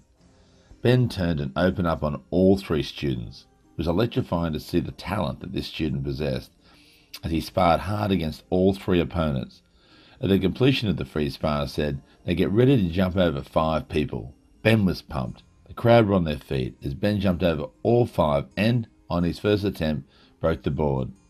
After Ben's promotion to black belt, his mother came running up to me, hugged me, and said, You have made my son feel so proud. Thank you. I smiled as I replied, saying it was my pleasure. I've always remembered those words from Ben's mum and have tried to achieve the same result at every grading for every student at all levels. Story of Alex. Alex was a young boy around nine years of age when he started with United Taekwondo in 2010 and he was very good at soccer. Alex decided that one day he'd like to compete in National All Stars NAS in a Sydney tournament held at Ryde Aquatic Centre. When Alex arrived, I was already competing in the veteran forms, a division for students and instructors over the age of 40. I've always wanted the event managers to change the name of the event because it made me feel old. I competed early in my division, and when I finished my pattern, I noticed that Alex in the background practicing very hard, but lacked the technique, speed, and focus to do well in his first tournament. I had a spare 15 minutes before the event presentation, so I decided to spend that time with Alex. Alex had only been training for a relatively short time, but as mentioned earlier, he was very good at soccer. I asked Alex if he'd like some assistance, and he was positive, saying, Yes, that would be great, Master Paul. Slowly went through his pattern and corrected the missing elements that would make a huge difference to the result. I needed one more thing to inspire my student, and as I considered the problem, it came to me. In the meantime, I went over to the Veterans Ring and was presented with first place. I left the ring and returned to Alex and said, I've achieved first place. Now it's your turn. It was just like out of the movies. Alex went onto the competitive mat believing in himself and performed an exceptional pattern.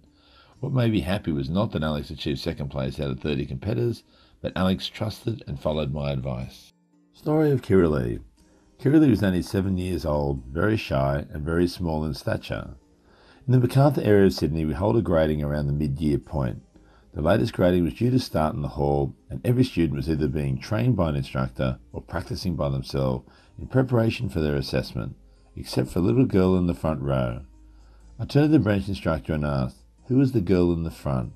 He replied, Her name is Kiralee and she is very nervous. I asked him where Kiralee's parents were, and the instructor pointed over to my right and added, Kiralee is also very shy and she might cry and run over to her parents. I thought about this for a moment and then shouted, on, which in Korean means stop. Come to attention, get ready for the next instruction. I said, All students move in, including all black belts and instructors. I further instructed them to line up for a white belt grading test. I made sure Kiralee was positioned in the middle with strong students surrounding her to build up her confidence. Repeated all the basic hand and foot techniques over and over until all students displayed great technique and understanding. The final part of the grading was a seven move pattern called right forward directional punch.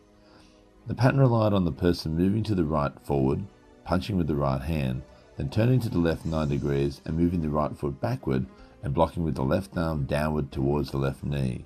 You then repeat the process five more times, finishing with a punch at the end, a loud shout. Repeated the pattern approximately 20 times, and as Kiralee's confidence grew, one by one I sat down groups of black, brown, blue, yellow, green, and white belts until Kiralee was standing on her own in front of 150 people. I yelled, Chumbi, ready position. Right foot actional punch. Sicha! Begin. You should have seen everyone's face when Kiralee moved with confidence, determination, and great technique, shouting on every move. When she finished her pattern, I looked to my right and both parents were in tears. When I looked to my left, the instructor was standing in disbelief. I smiled and said to the instructor, Is Kiralee applying for black belt? It took 15 minutes to change Kiralee from a shy and insecure girl to a strong and determined martial artist. I hushed the hall and said to everyone present, I'd like to thank everyone here tonight for giving up 15 minutes of their time to support Kiralee and give her the gift of confidence, a gift for life. The difference we made to Kiralee's confidence is our strength. I think the greatest reward an instructor can receive is to see his own student achieve way beyond their expectations. These are just a couple of the stories that have touched my heart and made my position as an instructor, teacher, and mentor one of the greatest choices I have made in my life. Personal development. As I keep on saying, fitness and self defense skills are just the start of what martial arts can do for your child. Self confidence is a child's passport to a lifetime of mental health and social happiness. It is the foundation of a child's well being and the key to success as an adult. At all ages, how you feel about yourself affects how you act. Think about a time when you were feeling really good about yourself. I'm sure you possibly found it much easier to get along with others. As instructors, we have interacted with hundreds, if not thousands, of children over the years, and this daily experience has given us some insight into human nature. Throughout life, your child will be exposed to positive influence builders and negative influence breakers. Parents can expose their children to more builders and help them work through the breakers. Please allow me to offer some suggestions for you to use at home to increase your child's self confidence. 1. Remember when your child was a baby and the time you spent caring, feeding, and building that bond. You remember that a young toddler needed more attention and that as they grew, sometimes you couldn't always respond promptly or consistently. Don't worry. It is the predominant pattern that is important. Try and make time to keep that positive relationship and still give them the space to develop independence. If they join a martial arts centre, turn off your mobile phone and just enjoy watching your child during training. 2. Improve your own self confidence. A child's self esteem is acquired, not inherited. Certain parenting traits and certain character traits, such as anger and fearfulness, are learnt in each generation. Raising your child gives you the chance to become a parent you wish you had. If you suffer from low self confidence, especially if you're feeling it is a result of how you were parented, take steps to heal yourself and break the family pattern. Increasing your self confidence or decreasing anger and frustration will have a flow on effect for your child. 3. Become a positive reflection of your child's self image. Not only is self perception important, but how they think others perceive them is equally important. If you give a positive reflection, they learn to think well of themselves. When you place them in a positive learning environment, you'll also see a difference. 4. Joining martial arts with your child and experience the pain and pleasure has double benefits. You'll get fit and healthy, but there will also wonderful opportunities to enhance your child's self perception. For example, asking a child if they could teach you patterns while turning it into a game gives them a feel of importance and accomplishment. If possible, ask your child if there's a martial arts game that they'd like to play. Maybe something they have learned at training. This will hold the child's attention longer than the game you suggested. 5. As a child develops in martial arts, you may see the carry over principle. This is where an activity boosts a child's self image, and this carries over to other endeavours. For example, one of my sons is a natural martial artist, but he wasn't interested in academics. Operating the carryover principle, we encouraged his enjoyment of martial arts while supporting him as he worked on his academics. The schoolwork improved as his overall self confidence increased. Recognize your child's special talents, help them to build on them, then watch the whole person blossom. 6. Set your child up to succeed. As parents, we see ability in our children well before they understand that they have a talent in a specific area. Striking a balance between pushing and protecting is difficult but necessary. If you don't encourage your child to try, his skills don't improve, and you've lost a valuable confidence builder. If you don't protect your children from unrealistic expectations, a sense of competence is threatened. Just remember not to have expectations because you are talented in that field and you like your child to follow in your footsteps. 7. Around age 6, when your child begins primary school, other adults become influential in their life. These are people who are around your child enough to influence their behaviour and model values. Once upon a time, people of significance in a child's life came primarily from within the extended family. But in today's mobile society, a child is likely to have a wider variety of peers and people of significance. As you've read previously, martial arts instructors pride themselves on teaching and demonstrating good values. By focusing on your child becoming respectful, determined, resilient, and proud of their accomplishments, martial arts students are high achievers. 8. Give your child responsibilities. In martial arts, as a student progresses, they develop self confidence and initialize values by channeling their energy into desirable behaviors and teaching skills. I have appointed senior students on numerous occasions to instruct groups of members in basic technique and etiquette. The results are impressive both in the respect they gain from the students during the instruction and the quality of outcomes achieved by the instructors and students. You'll be amazed at the change in your child's confidence even after one lesson. It changed my life and it can change your child's life too.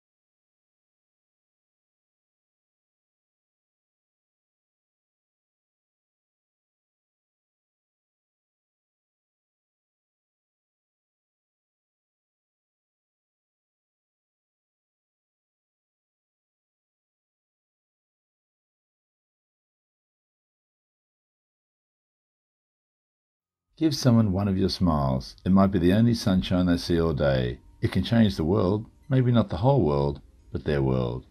Chapter 6 Supportive Network The strength of a community relies on the people within it. Showing your child the benefits of being part of a community is a wonderful gift to your child and to the community they live within. Story of a student's father. I remember when Larissa, Karina, and Braden joined one of my local centres. They were all quiet, but enjoyed the interaction with other children in the class. They worked hard, and had already attained one grading during the year, and had now qualified for their second promotion around May 2012. When grading day arrived, their mum rang me and explained that her husband was not well after treatment for cancer, and that the children would not be able to attend grading as she was needed at home and could not get them there. We spoke for a little while, and I told her not to worry. What we'll do is have a special in-house grading when her husband was feeling better. She was happy with that and said that would be fantastic. A few weeks later, as planned, the children turned up to the hall to do their grading, but unfortunately their father was still not feeling up to leaving the house. I asked their mum if she had the internet at home, to which she replied, Yes, we do. I said, Right, I said, ask your husband to log in onto his emails and get ready to see his children go for grading. I dug out my iPad and ran the grading for children in small sections, videoing the grading as they went through their patterns. I then emailed the videos to Dad throughout the night, so even though he could not attend in person, he could still feel a part of his children's achievements.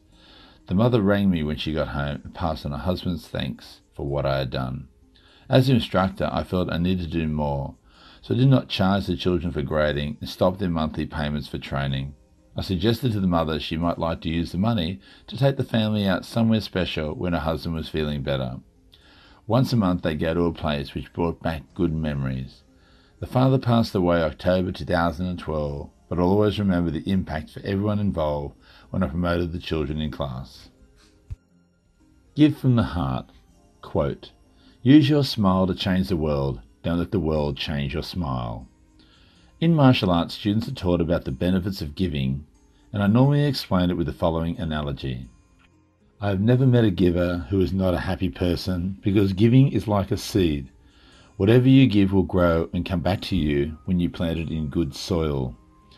Many people wonder why they don't have a harvest of good relationships or why no one ever gives them anything. Frankly, it's because they don't give anything back.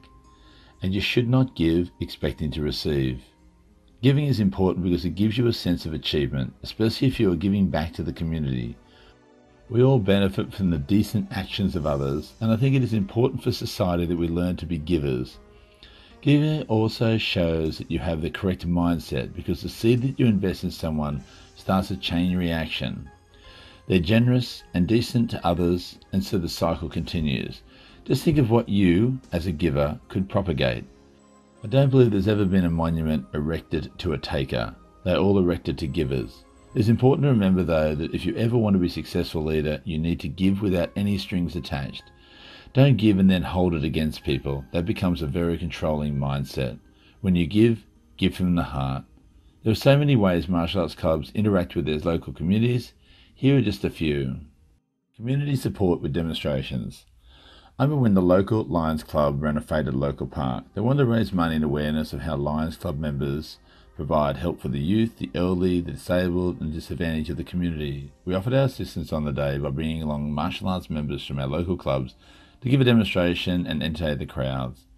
On the day itself, I could see dark clouds heading our way, so decided that we should speed up the demonstration. The crowd was impressed with the dynamics, the speed, and the organisation skills we demonstrated. Little did they know the purpose behind our execution. I am sure they felt impressed at our speed in packing up our shields, hand mitts, broken boards, and tiles, and disappearing rather smartly. As expected, it was only moments after finishing that the rain came down hard and fast. The Lion Club rang us later and thanked us for a great day and the great support. Doing time to stop youth crime. Time for Kids fundraiser is a PCYC initiative where community leaders do time to help prevent youth crime.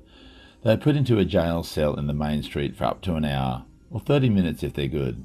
The aim is to raise $500 or more. All the instructors from United Taekwondo raised money prior to the event. Together we donated over $1,500 towards the PCYC initiative, and yes, I was allowed to be released from jail even though some people paid to keep me in. Recognition Australasian Martial Arts Hall of Fame and the World Karate Union Hall of Fame. The Australasian Martial Arts Hall of Fame, AMAHOF, was founded in 1996 by the late Professor Brian Gallen, 1952-2001, in conjunction with Master Frank Tassitano, President of the World Karate Union Hall of Fame, WKU HOF. Professor Gallen resigned as president of AMAHOF in October 1998 and was placed by Kyoshi Raymond Lawrence. Each year, the Australasian Martial Arts Hall of Fame calls for nominations from the public, readers, instructors, parents, physicians in sports medicine, whether or not they are martial artists, and non martial artists who contribute unselfishly to the growth of martial arts. Nomination ballots are sent out all over the world to enable people to nominate those they feel deserve the honour or recognition. In 2008, I was inducted along with 12 other martial arts practitioners. It was a proud and memorable moment to be recognised by my peers because of my contribution to local communities around Australasia. In 1996, the event has recognised just 200 instructors who have been inducted into AMAHOF and the World Karate Union Hall of Fame. It is a testament to the assessment process and a great tribute to every instructor inducted. National All Stars, NAS.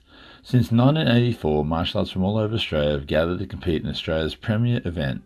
Men, women, and children of all different martial arts backgrounds compete in this most unbiased and non restrictive all styles event.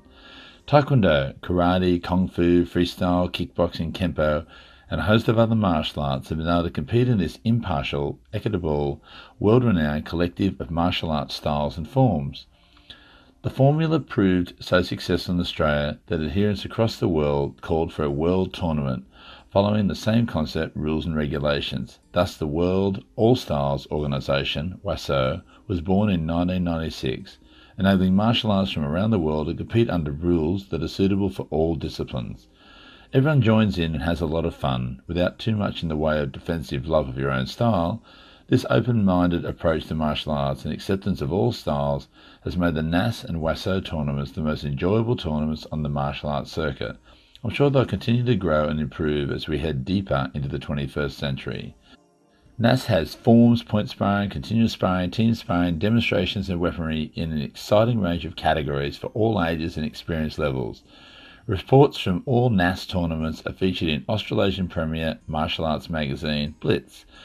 Photos, reports, and ratings for competitors from each event. The successful formula that NAS is built on is a truly unbiased, non political organisation which all of us are proud to be involved with. Over 10,000 competitors get together annually, and hundreds of officials and instructors join with them, and all attendees get to take advantage of all benefits of meeting others and training with different styles. National All Stars tournaments offer a great way to test months and years of hard training. Many competitors make a family event of it, and I can guarantee you, should your child progress, he or she wants to go to NAS, the entire family will love the event said NAS is just one of the tournaments your child might like to compete in against other children in a safe, competitive environment. Tournament conditions change from contact to non contact, and each will depend entirely on the chosen style or whether competitions are part of their curriculum. Story of Nicholas Nicholas Garavano entered the 15 to 17 years open male continuous sparring for the first time.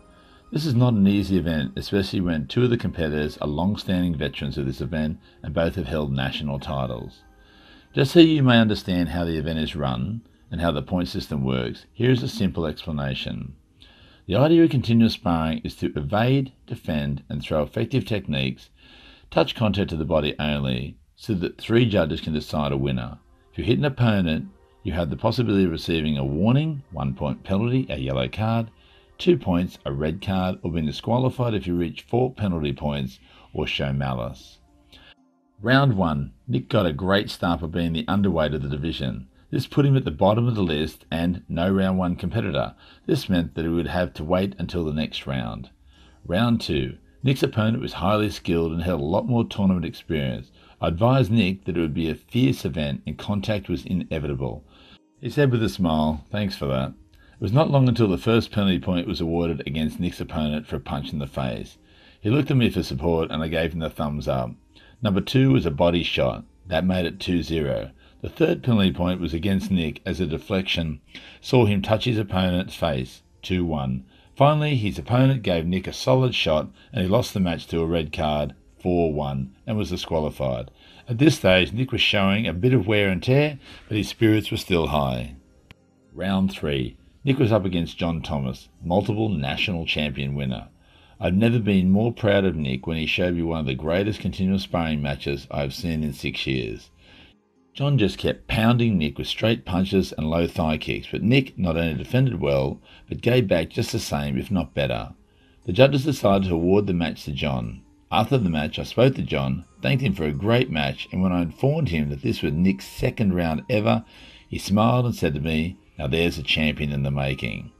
Nick was only given one minute to fight off a third and fourth place. We were waiting to start. Nick looked at me and said, I want this so bad. I want to win a medal. It was an emotional moment to look into Nick's eyes and see so much passion. I knew that he needed me and I was going nowhere. We had seen his competitors spar before and knew that Nick's 90 seconds was going to be a battle as Nick still held onto the scars from the previous bouts. Round 4. Nick started strong as expected, but it was only 30 seconds in the match when Nick took another blow to the face. The score was 1 0, and Nick knew he couldn't stop now. At the one minute mark, I yelled out, Go, Nick, go! This was a signal to let him know that was only 30 seconds left in the match.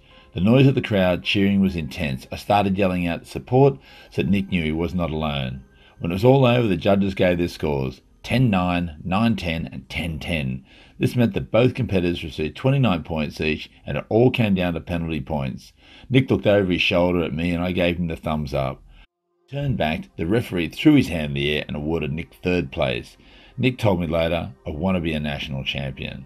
Isn't it amazing how one event can change your goals in life? Precedent Productions About the Awards. The Small Business Champion Awards is a prestigious and comprehensive program that supports and recognises small businesses across Australia.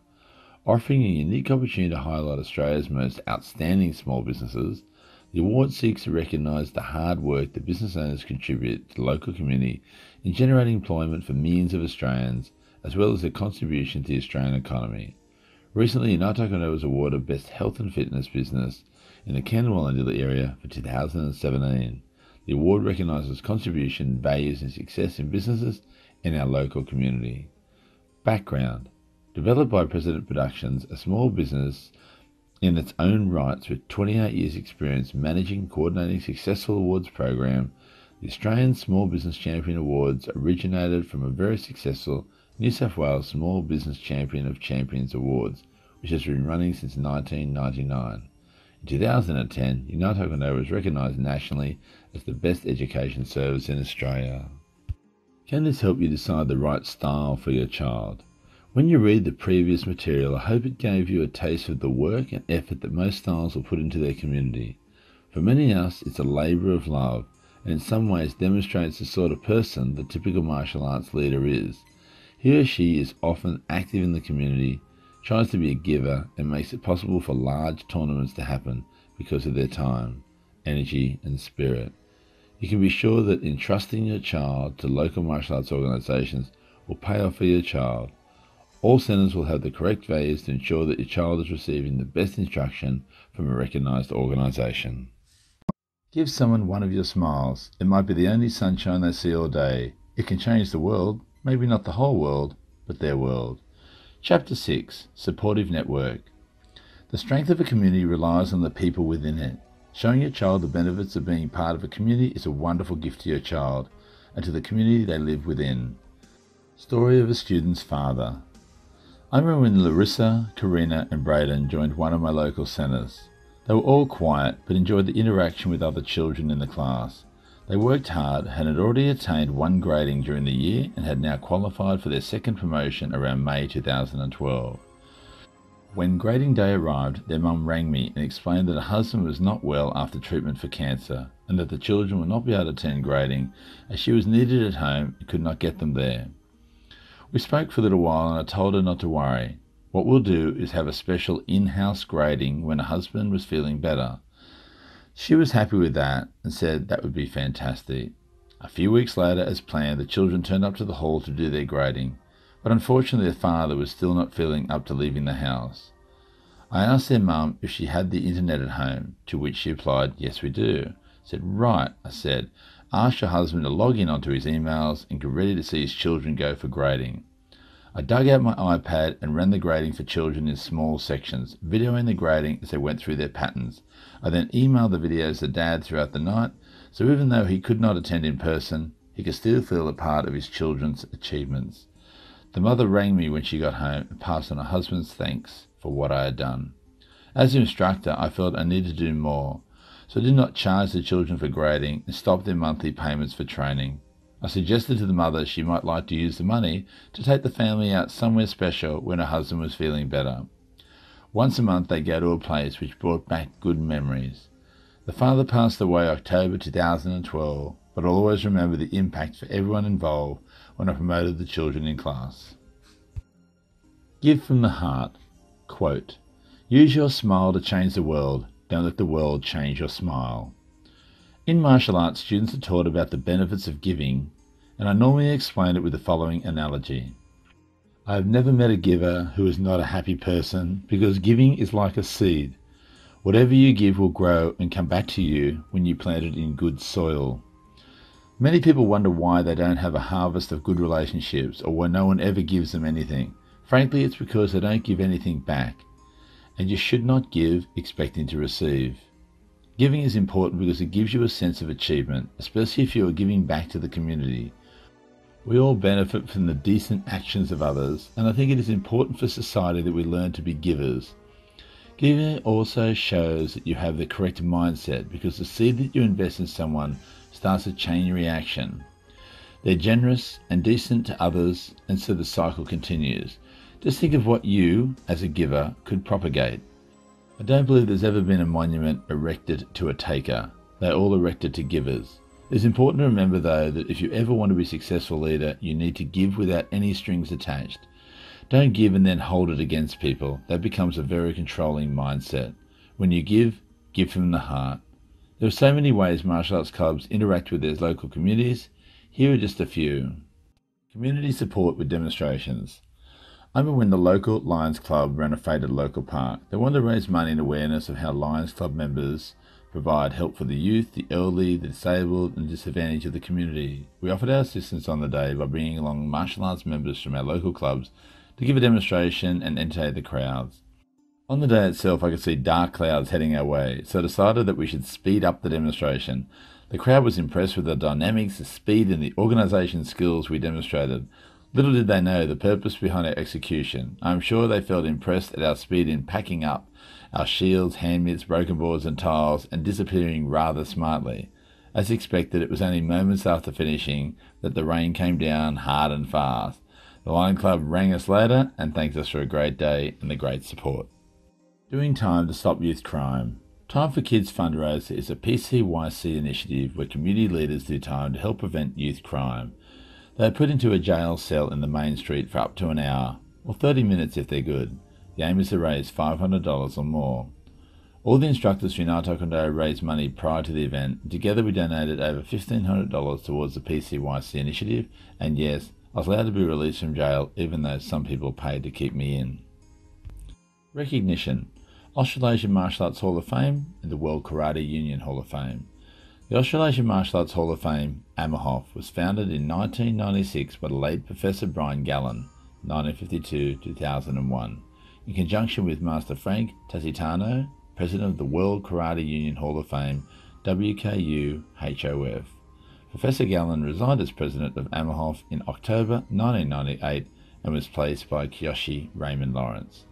Each year, the Australasian Martial Arts Hall of Fame calls for nominations from the public, readers, instructors, parents, physicians in sports medicine, whether or not they are martial artists, and non martial artists who contribute unselfishly to the growth of martial arts.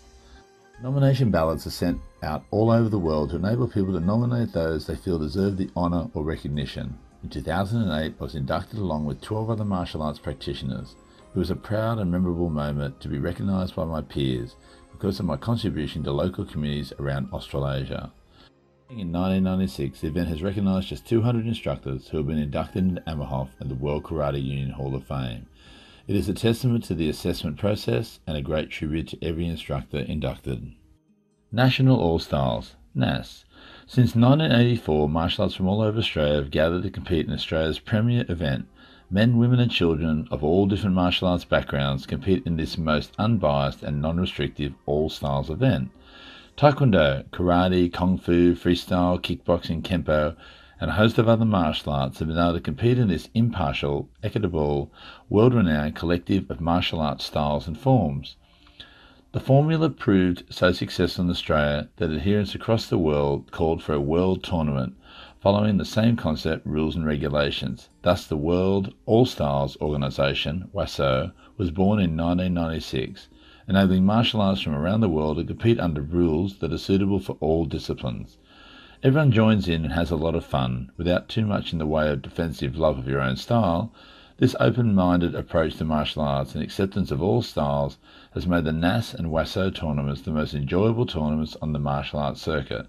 I'm sure they'll continue to grow and improve as we head deeper into the 21st century. NAS has forms, point sparring, continuous sparring, team sparring, demonstrations, and weaponry in an exciting range of categories for all ages and experience levels. Reports from all NAS tournaments are featured in Australasian Premier Martial Arts magazine, Blitz. Photos, reports, and ratings for competitors from each event. The successful formula that NAS is built on is a truly unbiased, non political organisation which all of us are proud to be involved with. Over 10,000 competitors get together annually, and hundreds of officials and instructors join with them, and all attendees get to take advantage of all benefits of meeting others and training with different styles. National All Stars tournaments offer a great way to test months and years of hard training. Many competitors make a family event of it, and I can guarantee you, should your child progress, he or she wants to go to NAS, the entire family will love the event. Said NAS is just one of the tournaments your child might like to compete in against other children in a safe, competitive environment. Tournament conditions change from contact to non contact, and each will depend entirely on the chosen style or whether competition is a part of their curriculum. Story of Nicholas. Nicholas Garavano entered the 15 to 17 years open male continuous sparring for the first time. This is not an easy event, especially when two of the competitors are long standing veterans of this event and both have held national titles. Just so you may understand how the event is run and how the point system works, here is a simple explanation. The idea of continuous sparring is to evade, defend, and throw effective techniques, touch contact to the body only, so that three judges can decide a winner. If you hit an opponent, you have the possibility of receiving a warning, one point penalty, a yellow card, two points, a red card, or being disqualified if you reach four penalty points or show malice. Round 1. Nick got a great start by being the underweight of the division. This put him at the bottom of the list and no round 1 competitor. This meant that he would have to wait until the next round. Round 2. Nick's opponent was highly skilled and had a lot more tournament experience. I advised Nick that it would be a fierce event and contact was inevitable. He said with a smile, Thanks for that. It was not long until the first penalty point was awarded against Nick's opponent for a punch in the face. He looked at me for support and I gave him the thumbs up. Number two was a body shot. That made it 2 0. The third penalty point was against Nick as a deflection saw him touch his opponent's face 2 1. Finally, his opponent gave Nick a solid shot and he lost the match to a red card 4 1 and was disqualified. At this stage, Nick was showing a bit of wear and tear, but his spirits were still high. Round 3. Nick was up against John Thomas, multiple national champion winner. I've never been more proud of Nick when he showed me one of the greatest continuous sparring matches I have seen in six years. John just kept pounding Nick with straight punches and low thigh kicks, but Nick not only defended well, but gave back just the same, if not better. The judges decided to award the match to John. After the match, I spoke to John, thanked him for a great match, and when I informed him that this was Nick's second round ever, he smiled and said to me, Now there's a champion in the making. Nick was only given one minute to fight off for third and fourth place. We were waiting to start. Nick looked at me and said, I want this so bad. I want to win a medal. It was an emotional moment to look into Nick's eyes and see so much passion. I knew that he needed me, and I was going nowhere. We had seen his competitors spar before and knew that Nick's 90 seconds was going to be a battle as Nick still held onto the scars from the previous bouts. Round 4. Nick started strong as expected, but it was only 30 seconds in the match when Nick took another blow to the face. The score was 1 0 and Nick knew he couldn't stop now. At the one minute mark, I yelled out, Go, Nick, go! This was a signal to let him know that was only 30 seconds left in the match. The noise of the crowd cheering was intense. I started yelling out support so that Nick knew he was not alone. When it was all over, the judges gave their scores. 10 9, 9 10, and 10 10. This meant that both competitors received 29 points each, and it all came down to penalty points. Nick looked over his shoulder at me, and I gave him the thumbs up. Turned back, the referee threw his hand in the air and awarded Nick third place. Nick told me later, I want to be a national champion. Isn't it amazing how one event can change your goals in life? Precedent Productions, about the awards. The Small Business Champion Awards is a prestigious and comprehensive program that supports and recognises small businesses across Australia. Offering a unique opportunity to highlight Australia's most outstanding small businesses, the award seeks to recognise the hard work that business owners contribute to the local community in generating employment for millions of Australians, as well as their contribution to the Australian economy. Recently, Taekwondo was awarded Best Health and Fitness Business in the Camden area for 2017. The award recognises contribution, values, and success in businesses in our local community. Background Developed by Precedent Productions, a small business in its own rights with 28 years' experience managing and coordinating successful awards program, the Australian Small Business Champion Awards originated from a very successful New South Wales Small Business Champion of Champions Awards, which has been running since 1999. In 2010, United Taekwondo was recognised nationally as the best education service in Australia. Can this help you decide the right style for your child? When you read the previous material, I hope it gave you a taste of the work and effort that most styles will put into their community. For many of us, it's a labour of love, and in some ways demonstrates the sort of person the typical martial arts leader is. He or she is often active in the community, tries to be a giver, and makes it possible for large tournaments to happen because of their time, energy, and spirit. You can be sure that entrusting your child to local martial arts organisations will pay off for your child. All centres will have the correct values to ensure that your child is receiving the best instruction from a recognised organisation. Conflict is inevitable, but combat is optional. Max Lucado. Chapter 7 The ABCs of Conflict Avoidance. Actually, conflict achieves very little. True victory is when no one gets hurt, including the bully or surrounding people. Martial arts isn't about fighting, it's about building self defense and the ability to avoid conflict. Story of my son Alex. In 2007, Alex was only 11 years old when his mum lost a battle with cancer. It was a very hard time for him and his brother, but through love and support from family and friends, I've seen Alex grow into a strong individual. Alex has always been involved in martial arts, and due to his unending dedication to perfection, he achieved first dan black belt at the age of 13. Since then, Alex has been duly assessed and promoted to second degree instructor and has always been a great support to United Taekwondo. I remember one day Alex was coming home from doing studies in town, and while he was waiting for a bus to arrive, he became aware that four individuals had noticed that he was on his own. He said to me later, Dad, I was not afraid of them, but decided to catch a taxi home because if I got into trouble, it might affect my career. I was very impressed that after all these years of training, he understood that if you have to throw a punch, you've already lost. Alex worked for me as an instructor after he completed school and never complained about the workload as he was helping his father. When Alex decided to join the Australian Defence Force, ADF, I gave him all my support. Together we achieved his goal of being a proud member of the ADF. When I look back over the years, I can honestly say that Alex was a great role model for my organisation. I'm very proud to call him my son. Many children, and especially boys, feel that they want to learn to fight when they start with a martial art. Maybe this is your child's intention too. Don't worry.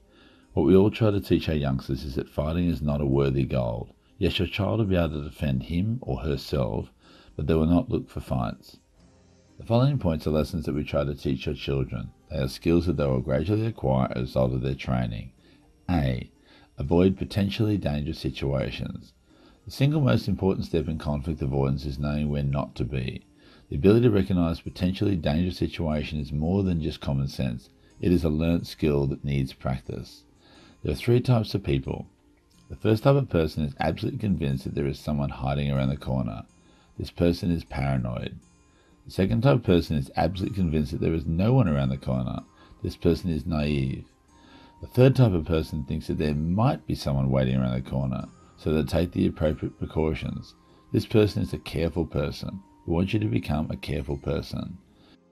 Do not underestimate the value of being a careful person. If we can get your child into a habit of being aware of his or her surroundings and always consciously being as careful as possible, he or she will be much less likely to be confronted violently. Awareness does not stop you from doing things, it just alerts you to the possible risks. And in my opinion, this is a wonderful skill for any teenage child. Outside the dojo, there are no rules. No one to stop the bout if things get rough. Understand that you'll see the odd bruise or knock to the body in class, but this is from a fellow student who's been raised up with respect and control. When you leave the dojo, you need to be aware of your surroundings. You need to be asking yourself questions. Who is behind or in front of me? Where are my escape routes? What am I carrying that could be used as an effective weapon? Here are some potentially dangerous situations and ways to avoid them. Walking down the footpath late at night and a group of people are coming the other way. Solution. Cross the road safely and monitor their response. If they cross the road soon after you, turn around and look for a safe place to go until the potential danger has gone. 2. Walking down the footpath. Solution. When you walk down a footpath, walk as close to the road as possible. If a person attacks you, then you'll have more escape routes available instead of being pinned to the wall or shot. 3. Going out to an unfamiliar location. Solutions. Do your research before you leave home. Print out a map and the route you would take. Tell a family member of your intentions, and if you change your plans, contact someone to let them know of your new plans. When you've arrived at your destination, always be aware of your surroundings and anything that may grab your attention or look out of place. 4. Someone offers you a free drink. Solution. If you don't know the person, say no thank you. Even if you do know the person, don't share a drink from the same glass or bottle, as certain diseases can spread through saliva. Never accept a drink that has already been opened. Not even from a friend, as something harmful could have been put in your drink, and your friend may have thought it was funny at the time. B equals be calm, breathe. Most people tend to become emotional and react to an unplanned, unfocused way when confronted with an intimidating situation.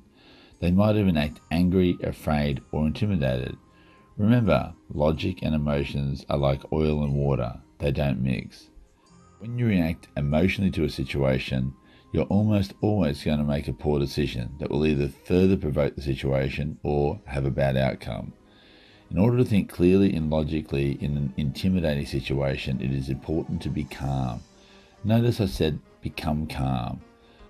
Believe it or not, the easiest way to maintain a calm disposition is to talk slowly and breathe deeply rather than fast, shallow breaths that usually accompany an emotional outburst. Quote, he who loses control of his emotions gives his opponent a powerful ally. Helping to maintain a calm attitude allows you to respond rather than react. When we can calmly respond to an intimidating situation, you have the best chance of resolving it peacefully because you're appealing to the other person's logic rather than emotion, and you are not inflaming the situation. Visualize being in the threatening situation, then try to take slow, deep breaths and remain as calm as possible. Remember, just knowing how to take deep breaths in threatening situation is not enough.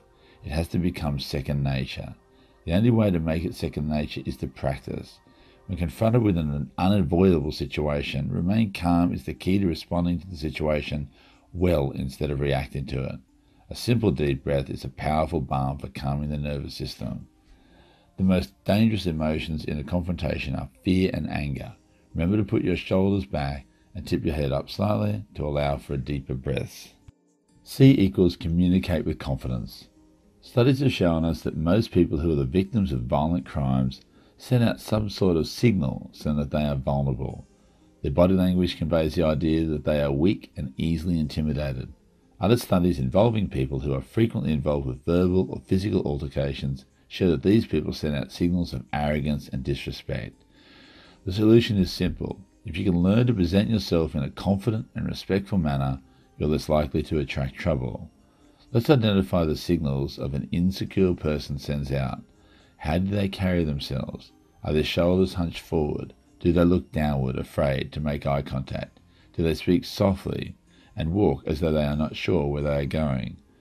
The next step is to identify the signals that confident people send out.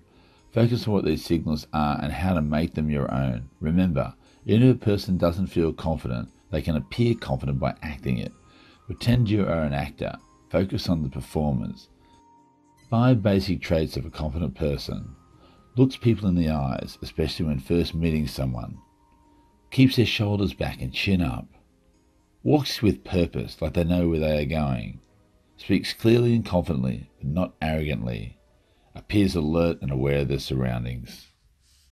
What the mind can perceive, the heart can believe, the body can achieve. Unknown. Chapter 8 Holistic Benefits. Health and fitness are the most obvious benefits, but the holistic benefits of martial arts include more self confidence, a stronger character, become a member of a stronger community, and going through positive rites of passage rather than negative ones. Story of Brian. Brian is only 73 years old, and some nights he leaves us for dead. We love him being a part of our organisation as he brings inspiration to every class with his experience and dedication, and he wears the best smelling cologne in his perfectly pressed uniform. Every class, Brian arrives early and will never start class until he bows to me privately and gives me that Brian smile. It always indicates to me how happy he feels every time he turns up to training. The reason Brian joined us was to give him the strength to make it through another day.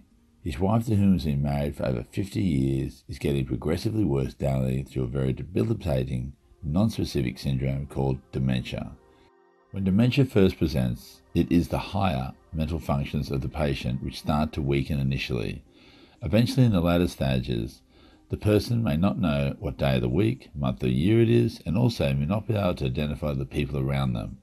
I know how he feels as I watch my mum deteriorate with the same syndrome for over 10 years. Brian is a special person to everyone in our class, and every now and then he brings his wife Yvonne to the class to watch him and his granddaughter train. I've never met a person with so much love and passion for his wife, and we all wish we had the answer to solve his wife's problem. How do we help? Well, that is easy. We train him just like everyone else, but we always remember to give him the respect he has earned as a senior member of our community. Brian has been a part of United Taekwondo since 2010, and as the years go by another birthday appears, Brian enjoys my gift. I asked him to demonstrate his pattern in front of all the instructors, students, families, and friends. He is just awesome, and he knows that he can always turn to any member for support if required. One last thing, Brian has achieved brown belt black tip first kup, which means his next promotion is black belt. What an inspiration. Life lessons. Children soak up information like sponges, and one of the greatest things about Taekwondo, and indeed any martial art, is the life lessons it dishes out along the way. These holistic benefits on the top of the draw card benefits of fitness, healthy living, and the ability to vend oneself. The other draw card is a sense of ritual that provides a rite of passage throughout the growing years. In times past, rites of passage provide ground rules for kids as they grew into adulthood, and without them, there's a risk that the young person may go off the rails. Correct mindset. To build the correct mindset in your child, we start by explaining to them that participating in martial arts is not about giving up, but more about having fun and trying to do what we ask them to do. When we ask a child to do 20 push ups, their first responses might be, I can't do that, or that's too hard, or I've never done that many before. We find that at first, if we offer them a reward for trying, they will give their all and more to complete the challenge. Nothing has really changed in their body's ability, but their mindset has changed.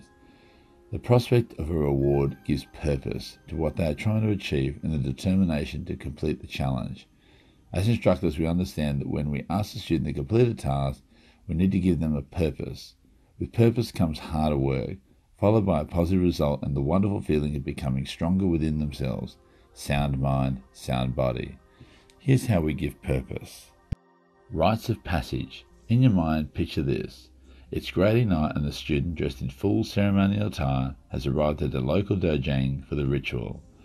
As the sacred space is entered, a bow is shown as a sign of respect, and the student leaves the ordinary world behind them. The separation.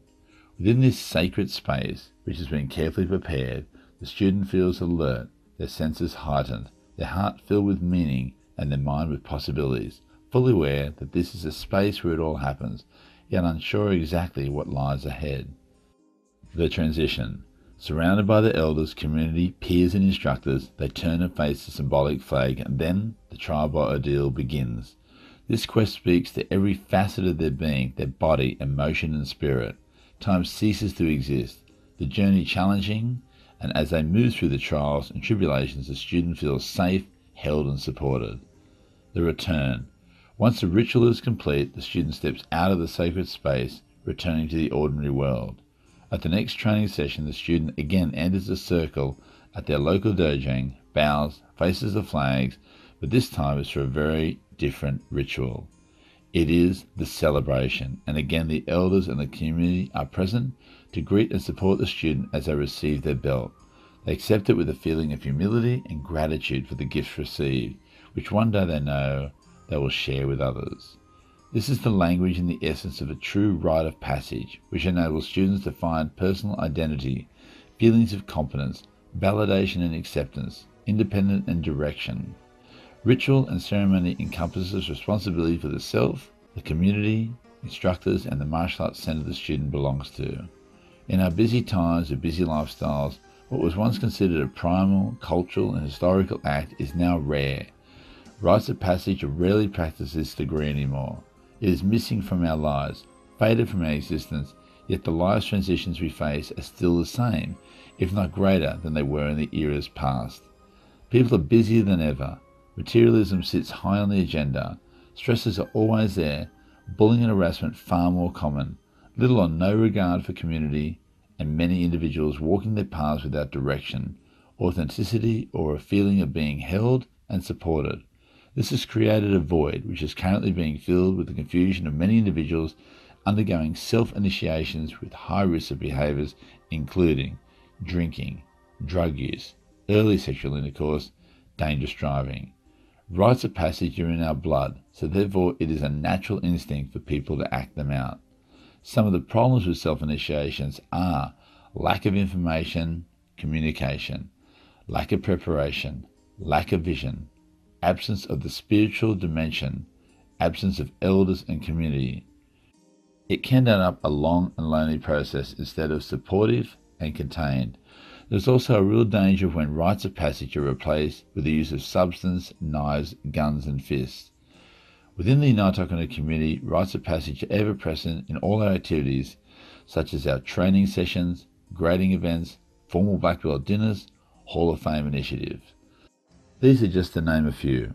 They are always challenging but growth producing, held and contained, supported and connected. As the student makes that journey through martial arts and the process, step by step, the rites of passage, one by one, the student will transform from boy to a true man, or girl to empower woman, embracing the change and responsibilities wholeheartedly, and not only in the martial arts arena, but within their entire way of life.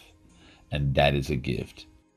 Britta Ichlers Transpersonal Art Therapist, September 2013. The Spirit Within the Belt.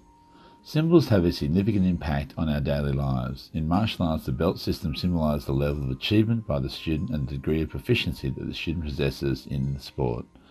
Each belt marks a milestone in the journey taken by the student and provides a visible, tangible reminder of the effort and concentration required to achieve those milestones.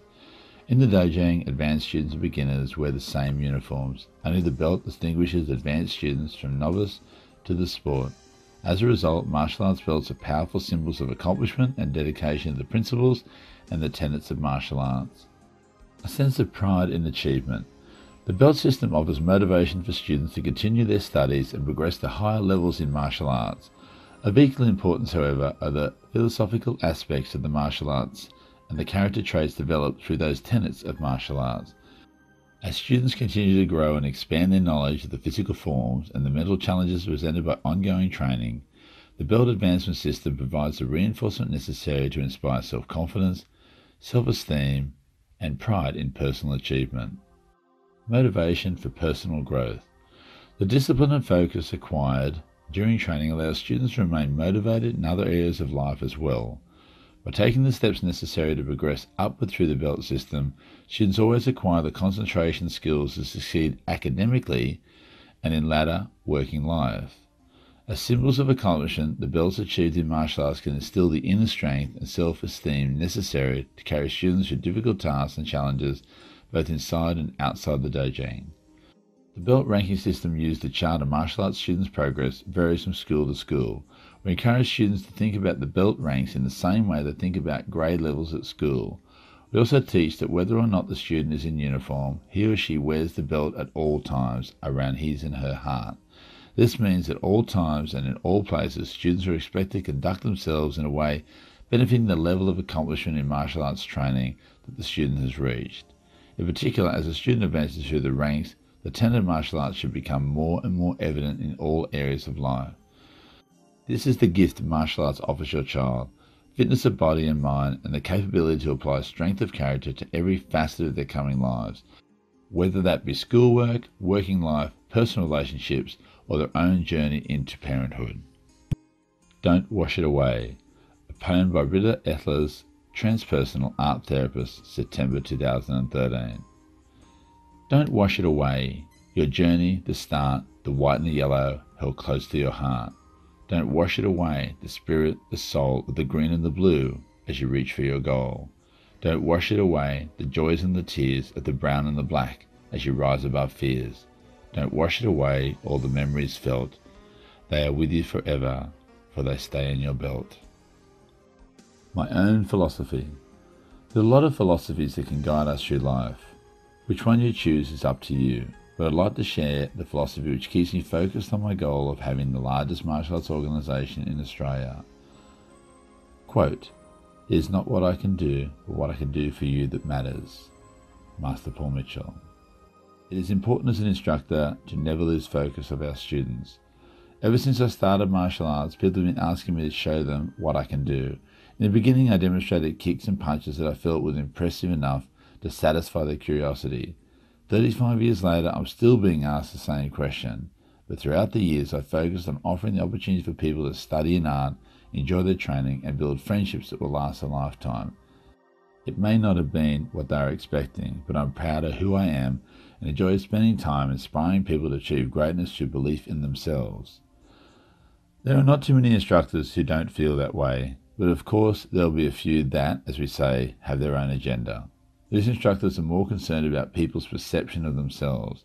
They accept promotions and awards when they should have focused on their own students. You'll know when you meet them. Quote, there is nothing greater than the smile on a child's face when they have achieved something special. In our organisation, we think it is our responsibility to give every child the opportunity. I have not been handicapped by my condition. I'm physically challenged and differently able.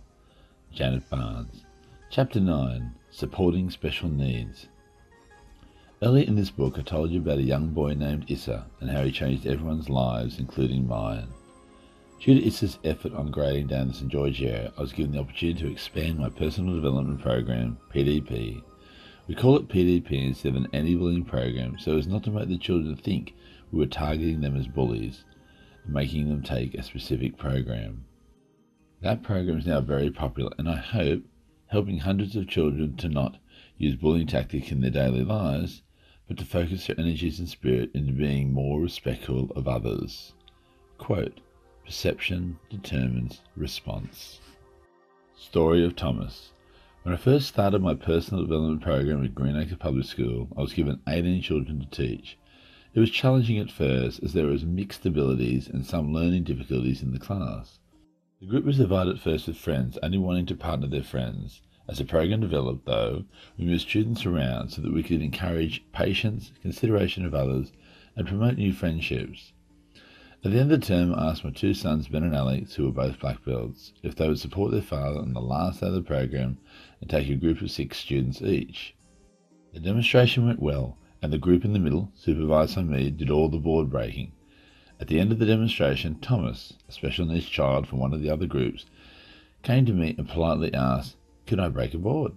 I asked Ben and Alex if they could get the boards out of the back of the car so that everyone could break. During the breaking work, Thomas stood up for his go. He had several attempts at breaking the boards but couldn't quite get there. Then all of a sudden, six boys out of the group stood up and moved closer to him. They started to gently encourage Thomas with cries of, You can do it! Turn your hip more! And kick through the board. It was amazing to see the difference that unconditional support can make to someone. Thomas let go of his fears, and after he succeeded in breaking the board, the six students congratulated Thomas with applause, pats on the shoulder, and asked him if he wanted to sit with them. The children at the start of the program only cared about what they could get for themselves. Yet here, we were on one term later, and they had realised it only takes a little kindness to make a huge difference to someone's life. What a gift for later life for all of us in society. The program expanded and I was teaching 230 stage 3 10 to 12 year old children each week. The success of the program was due to a combination effort from teachers, parental support, and the belief of a deputy principal who saw the difference martial arts had made to her own daughter. As instructors, we understand that a bully wants to be number one, and that's alright. They're normally stronger and use their power to dominate. Now, when we show them how to get the same results through kindness, leadership, and respect for others, we get an exponentially greater result. Special needs. Children with special needs can benefit greatly from being involved in martial arts. I attribute this to the fact that our martial arts programs have the flexibility to take into account the child's progress on an individual basis. We also provide a structured, disciplined, and positive environment in a social setting. In other words, our belief and respect for all provides a safe environment for your child. Becoming involved in martial arts will give special needs children the chance to be a part of a group that can work together while at the same time recognizing each child's success individually. The ultimate goal is to make martial arts a positive and inclusive experience while providing obtainable and realistic goals. For many parents, the idea of their children taking part in a martial art or combat sport seems wrong. Who in their right mind would willingly let their children learn to fight? As it turns out, martial arts training doesn't generally lead to aggressive and violent behavior. In fact, it tends to do the opposite.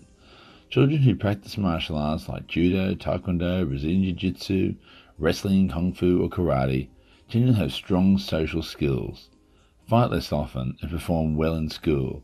This effect is particularly pronounced in at-risk children or those with special needs. Martial arts has also proven benefits for children with special needs such as autism and Asperger's syndromes.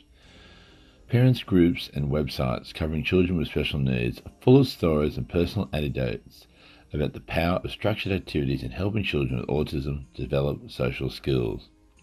There was a survey done with special needs children in participating in martial arts training over 11 weeks in America. The instructor noticed marked improvements in cooperative behavior, balance, eye contact, attention span, and play skills, the children in the study also displayed a decreased level of negative social behavior like acting out or fighting. The positive effects that martial arts training has on helping children develop respect, confidence, teamwork, and self discipline. These skills, developed in karate, judo, taekwondo, aikido, kung fu, jiu jitsu, and tai chi classes, transfer into all aspects of everyday life with improvements seen in school performance and social skills. A Tribute to Yunao Taekwondo by Kim Petticoat, Nagano Dojang. I'd like to tell the story of two boys, both diagnosed on the autism spectrum. These boys are my sons. My first son, Liam, now age 15, was diagnosed with Asperger's syndrome and ADHD. My second son, Declan, now age 12, was diagnosed with moderate autism. At five years of age, Liam could not play sports in a team, could only parallel play with other children, had no coordination, could not stay still or pay attention in class. Stimming included head banging, jumping up and down, flapping his hands, sucking the back of his knuckles until they bled, constant hand movements, and having to line things up in order. Declan did not speak until he was nearly six, could not make friends, did not know his colours, had major dietary issues, had little or no eye contact, could not speak to strangers, walk in lines or giant circles having two-way conversations with, I'm not sure who, and had the same jumping up and down and hand flapping as Liam. Everything in his room had a place, and if you moved it, you had to remember exactly where it was and put it back, or there would be a major meltdown. Of course, we were devastated, but we just rolled up our sleeves and got to work. There was speech therapy, occupational therapy, Dr. Underwood, the naturopath autism specialist, the Dore program, music lessons, tutors, and then my husband Craig decided to try Taekwondo. At five, Liam was out there, always moving around, never paying attention, so it didn't last that long. At six, Craig tried again, took Liam back to Lugano School to instructor Gary. I remember his first grading. He was so fidgety and happy, and I was sure he would not be given his yellow belt, but he got it. When he came home with the belt, we were so proud. And so it went on. Two nights a week, Craig would go with him, and they graded together. We waited for a while for Declan to start Taekwondo. He was eight. By this age, he had a core group of friends who loved him, even though he was different and had grown in confidence. Craig continued to take our boys to Taekwondo every week, and they graded together whenever they could. Then a tragedy happened. Craig tore his pectoral muscle and had to have surgery. Craig and Liam had their black tips. I took them to Taekwondo whenever I could and relied on friends to bring them home for me. Craig did return to training for some time, but then started working for himself with very long hours. But the boys continued Taekwondo, and at 14, Liam went to the black belt grading. Not sure if he was going to make the grade, but he was determined and he succeeded. I think that was the proudest moment in my life. Declan also achieved his brown tip at the same grading. Watching Master Paul put the black belt embossed with Liam's name on it was so special. Now I've joined the boys on this journey. I have my yellow belt and feel fitter than I have in so many years. Both our sons have improved in everything they do. Liam plays rugby league and is very fast and coordinated. He is lean and strong and has many friends. He is calm and listens and is respectful, is doing well at school, and to watch him stand tall and proud in that front row as a black belt at United Taekwondo Ghana is amazing. I still pinch myself. There is nothing of the stimming left. Declan has friends, can make new ones, has fantastic eye contact, speaks well, learns his pattern fast, is coordinated, can participate in school sports now. He has very little of the stimming left and has graded to his brown belt. He is a beautiful soul and loves participating in Taekwondo. I am told there is no cure for autism, but I'm not so sure. I'm so incredibly proud of my sons and immensely grateful to United Taekwondo, to instructor Gary Thiggood, an amazing instructor, mentor, a wonderful patient man, to Master Paul, Chief Instructor John, and Instructor Kale, who all have played a huge part in my boy's successful transition from special needs to hardly any needs, and to Nicole Barn and Alex who support and encourage, and to my husband Craig, who I am hoping will come back soon. I know this is a long story, but I hope it inspires and encourages people to consider Taekwondo for their families. You'll never regret it. Eight important tips for working with a special needs child. As the population of children with special needs continues to grow, more and more scout leaders, soccer coaches, religion education instructors, librarians, music teachers, and other adults find themselves working with these children for the first time. Many of these adults are volunteers who generously give their time and expertise. Others are highly trained in their field but have little or no knowledge of disabilities. Here are eight important tips you can pass on to people who will be working with your special child. If you feel so inclined, you can even give them a copy of this book. 1. Interact. The biggest mistake that adults make when they meet someone with special needs is failing to interact with them. What often happens is an initial approach is seemingly rebuffed by the child and the adult, not expecting such a reaction, gives up. Firstly, introduce yourself and explain why you will be interacting with them in whatever capacity it is. Depending on your child's special needs, it may be necessary to take your child's hand, place a hand on the child's shoulder, or even touch each other's face to make a proper introduction. You might ask for advice from a parent at this stage as to whether touching is appropriate or whether they will react badly. With the then explain the activity that you'll be doing with the child. Explain the different steps of the activity, including the beginning and the end while making as much eye contact as possible. 2. Observe. Some children with special needs see things in a very different way. According, they may feel discomfort that you don't see or feel, and you need to be aware of this, particularly if they are unable to verbalize discomfort. Remember that all behavior is communication. Always keep a lookout for these differences and think about what the child's behavior is communicating to you. If you're not sure what you're seeing, ask the child's parents or an adult for advice. 3. Parents. You understand your child best and know that they like to feel safe. So if you are coming to a martial arts class, speak to the instructor and see how best to make the environment safe in an emotional context. In class, you may need to be near your child while they are learning or even helping them, with guidance from the instructor about correct technique. 4. Be flexible.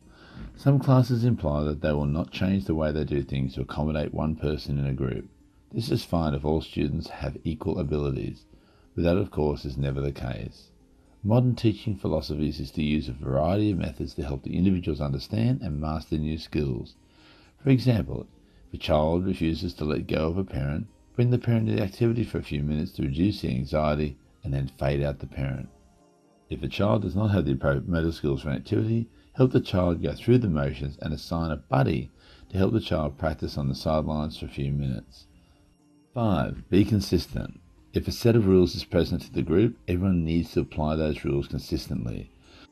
An example may be that if a special needs child is having difficulty in understanding a command, then the parent needs to be waved in to support that child. When the child sees the help they are getting, plus the expectations that they will need to perform the instruction, are better with assistance, then a positive result usually occurs. Contrast that with the likely outcome where the child is squirming because they are having trouble understanding and the instructor says to the child, if you keep moving, you'll have to leave. This is unlikely to stop the child squirming. The instructor should wave the parent in as agreed. 6. Use visual, auditory, or tactile cues. In our dojang, we have found that having the right cues in any environment can mean the difference between participation and non-participation for many children with special needs. Bringing a camera to the activity a special needs child will be participating in and taking shots on a regular routines and favourite places. You can compile the shots into an album that encourage familiarity with the environment or the activities. Other instructors have found success by using index cards with simple written instructions to help the child remember the rules for appropriate behavior. If reading is a problem, substitute a hand drawn cartoon or other pictures for words. Tactile clues such as gentle touching a person's shoulder, bending down to make eye contact, or other signals that make a transition will help the instructor get the child's attention.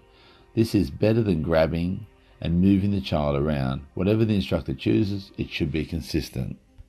7. Have a plan and a backup plan. You know what they say about the best laid plans. In words of special needs, there's always a plan B and usually a plan C.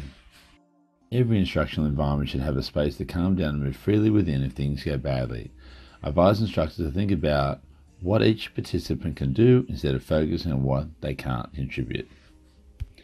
8. Be positive. A positive attitude is the single most important quality for anyone who works with children with special needs. Our frustrations are sometimes easily read by special needs children, and this will not help you at all. You never understand the love of a parent until you become a parent yourself. Chapter 10 As a Parent, What Can I Do? Martial arts gives us all the framework for raising great children. You can join in from home and exemplify the lessons while nurturing all the lessons that martial arts shows the child. Story of Kobe. Recently, a young family joined Otokondo and Macarthur area. Straight away, I noticed something special about the connection between the parents and the children. Stefan, father, and Summer, daughter, were the first to join. Summer was only seven, and in the beginning, we had to give her a bit more attention. While we were doing this, we had noticed Susan's mother, and Kobe's son watching every move intently that Stefan and Summer were doing. When they got home, I later found out the whole family would practice together, even Kobe, who was only four years old. When they returned to training the next lesson, I saw a huge improvement in Summer, but also Kobe was showing a greater interest. One night, Kobe came up to me and asked politely if he could please join in. I said, let's see how we go. So look for a low risk opportunity where Kobe could join in with the main class. This included punching the mitts, kicking a bag, and a bit of running, anything where he could be having fun. What was special was that Kobe would ask every lesson, could I join in? And so I began to include him in the basic blocks and kicks. His mother would not be far away and would be giving instruction and encouragement from the sideline. If at any stage throughout the night I felt that Kobe needed to sit down, he would always bow, say thank you, and move to the side with his mum.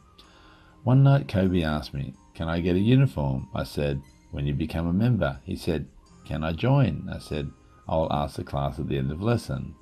At the end of the lesson, I said to the existing members, Is Kobe able to join? And everyone said yes in a loud voice. I turned to Kobe and said, Junbi, meaning ready position, Charyeot, meaning attention, pay respects to your new class, Kyungye, meaning bow. What made it special was that his parents worked patiently with Kobe for months to help him achieve this goal. But what was more special was seeing the smile on Kobe's face when I helped him put on his uniform. Kobe is now a yellow belt and passed his first grading just after he turned five. Active or passive? Parents can train with their child in an active role and or a passive role. Here's some helpful tips on how to help your child succeed and develop in their martial arts journey from white belt to becoming a recognized black belt. Parents can take an active role by trialing a class with their child. Let them teach you what they know to help them practice and feel empowered. Leading by example, eat healthily, drink water, stay active, and have a positive attitude. Deal with your stress and the challenges the same way you'd like your child to. Following and encourage the rules and regulations. Bow at the door when entering and leaving the dojo. Making yourself available watch your child at least two thirds of the time. Get involved. Be your child's number one fan and cheerleader. Kids with parents who get involved are less likely to drop out of martial arts, so try to avoid just dropping the kids off. Parents can take a passive role by always complimenting your child after class. Children should always associate martial arts with feelings of success and pride. Attending gradings and bring relatives and friends, your child has put in a lot of dedication to achieve their next level, so celebrate their achievement with them. Helping with their martial arts homework. Watch the DVDs supplied, ensure they are practicing the patterns and other moves at least twice a week at home. If your child has questions, encourage them to come to class with some questions for their instructor. Getting into a regular schedule as much as possible so children can mentally prepare for class straight after school Leave the TV off after school, especially before martial arts. Leaving the phone in the car. Give yourself a break from it for the duration of the class. Always inviting interaction with members and their families, especially parents. At the conclusion of the lesson, please feel free to ask questions of the instructor about your child's progress. However, be mindful of time constraints. Also, a kind, positive word of the instructor is always very much appreciated as they are doing their best for your child ensuring all who attend a martial arts dojo have an enjoyable, rewarding experience that will have a positive influence on those training in martial arts for their entire life. Website support. Finally, here are some great websites to visit www.takeastandtogether.gov.au www.stopcyberbullying.org www.girlshealth.gov and www.bullyingnoway.com.au. Visiting these sites with your child will build their confidence by showing them you are supportive and that bullying is not acceptable and will not be tolerated. My strength did not come from lifting weights, my strength came from lifting myself up when I was knocked down. Chapter 11 Five Strategies to Deal with Bullying. Sometimes you don't have the luxury of looking ahead and stopping something before it happens. Bullying may well be happening for you right now, so the following gives you some ideas of how to fight bullying. Strategy 1 What is bullying? Bullying is when people repeatedly and intentionally use words or actions against someone or a group of people to cause distress and risk to their well being.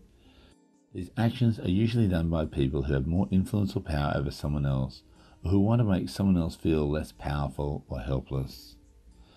Bullying can happen in many places. You can have many triggers such as religion, disability, gender, sexual orientation, gender identity, or anything else that makes people different. Most people experience bullying at some stage in their life. As an adult, I find that being bullied happens less as you get older. Perhaps it's because you learn to deal with it better, or as an adult, you learn just to brush it off. Or maybe the bullying just gets more subtle. Unfortunately, the same thing can't be said for children. As parents, we need to help our child deal with and understand what bullying is about. Recognize the signs of bullying. Is your child being bullied? Bullying and cyberbullying can happen to any child wherever children congregate, whether that be at school, in the playground, or online. While research indicates that obese, shy, depressed, minority, and special needs children experience a higher likelihood of being bullied, it's important to note that even though your child may not fit into one of those profiles, they still could become a victim. Bullying is a highly emotional subject for children and parents, if you think your child may be bullied, the next step is to encourage them to talk about it. Explain what bullying is to your child first and ask them if they ever witnessed or experienced it. Understand, however, that the majority of children don't tell parents or adults about bullying. The following signs may indicate that your child is being bullied. When your child comes home, he or she is moody or sad and afraid of going to school or gathering with other children. Pieces of your child's clothing or other belongings are torn or missing your child has unexplained bruises, cuts, or scratches. Your child seems anxious or insecure. It is most important that you as a parent talk about bullying with your children. Even if the signs are not there, explain bullying to your child may help them in turn pass on the information to others. Strategy 2. Am I a bully? It is also important to recognize when our own children may be exhibiting bullying behavior. This is, of course, difficult to take on board in our own family, but a strong parent recognizes that every child needs guidance from time to time. We all have a responsibility to deal with bullying, whether it's close to home or not. How do you ascertain whether your child is exhibiting bullying behavior? Ask your child in a non accusing manner the following questions and ask them to be honest with themselves. Your goal here is not to accuse and reproach, it is to discover behavior signals and then guide them to a different way of thinking. Do you make mean faces or hand signals to each other? Do you spread rumors or say something mean about others behind their back? Do you often make fun of or tease others? Do you whisper secrets to a friend in front of another person and not share that secret with him or her on purpose? Have you purposely not invited someone to hang out with you or your friends? Have you ever been or currently a part of a clique that is exclusive about who you can or cannot be friends with and has not let others join in? Do you make fun of others because they are different from you and your friends? Have you ever threatened to hurt someone? Have you ever punched, shoved, or hit another boy or girl? Did they answer yes to any of these examples? If they did, then you'll need to assess the degree of the behavior and come up with a plan to drive different behaviors.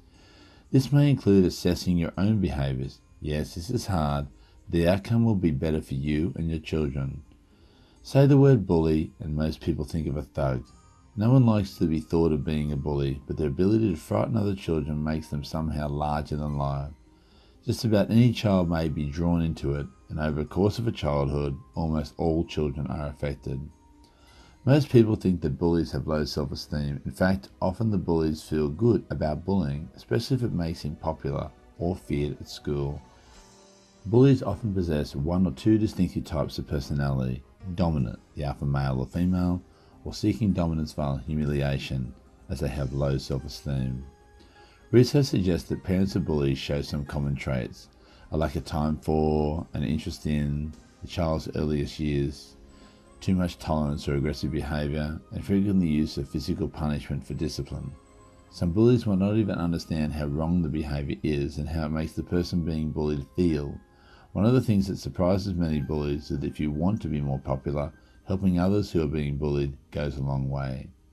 How can I stop my child from being a bully? People who bully others often find it hard to ask for help. They may be worried that they'll get into trouble with their teachers or that they'll be bullied themselves. This means that they'll have to firstly notice the behavior and secondly take steps to bring it under control. It takes courage to help stop your child being a bully. You think it becomes a judgment on how you are as a parent, but the truly better parent is the one who weathers all the storms, good and bad, in raising of their children. The simple fact is that you want to take action proves that you're a good parent. Here's what to do assess the behavior and make a decision. Direct the child in a non threatening way to question their behavior.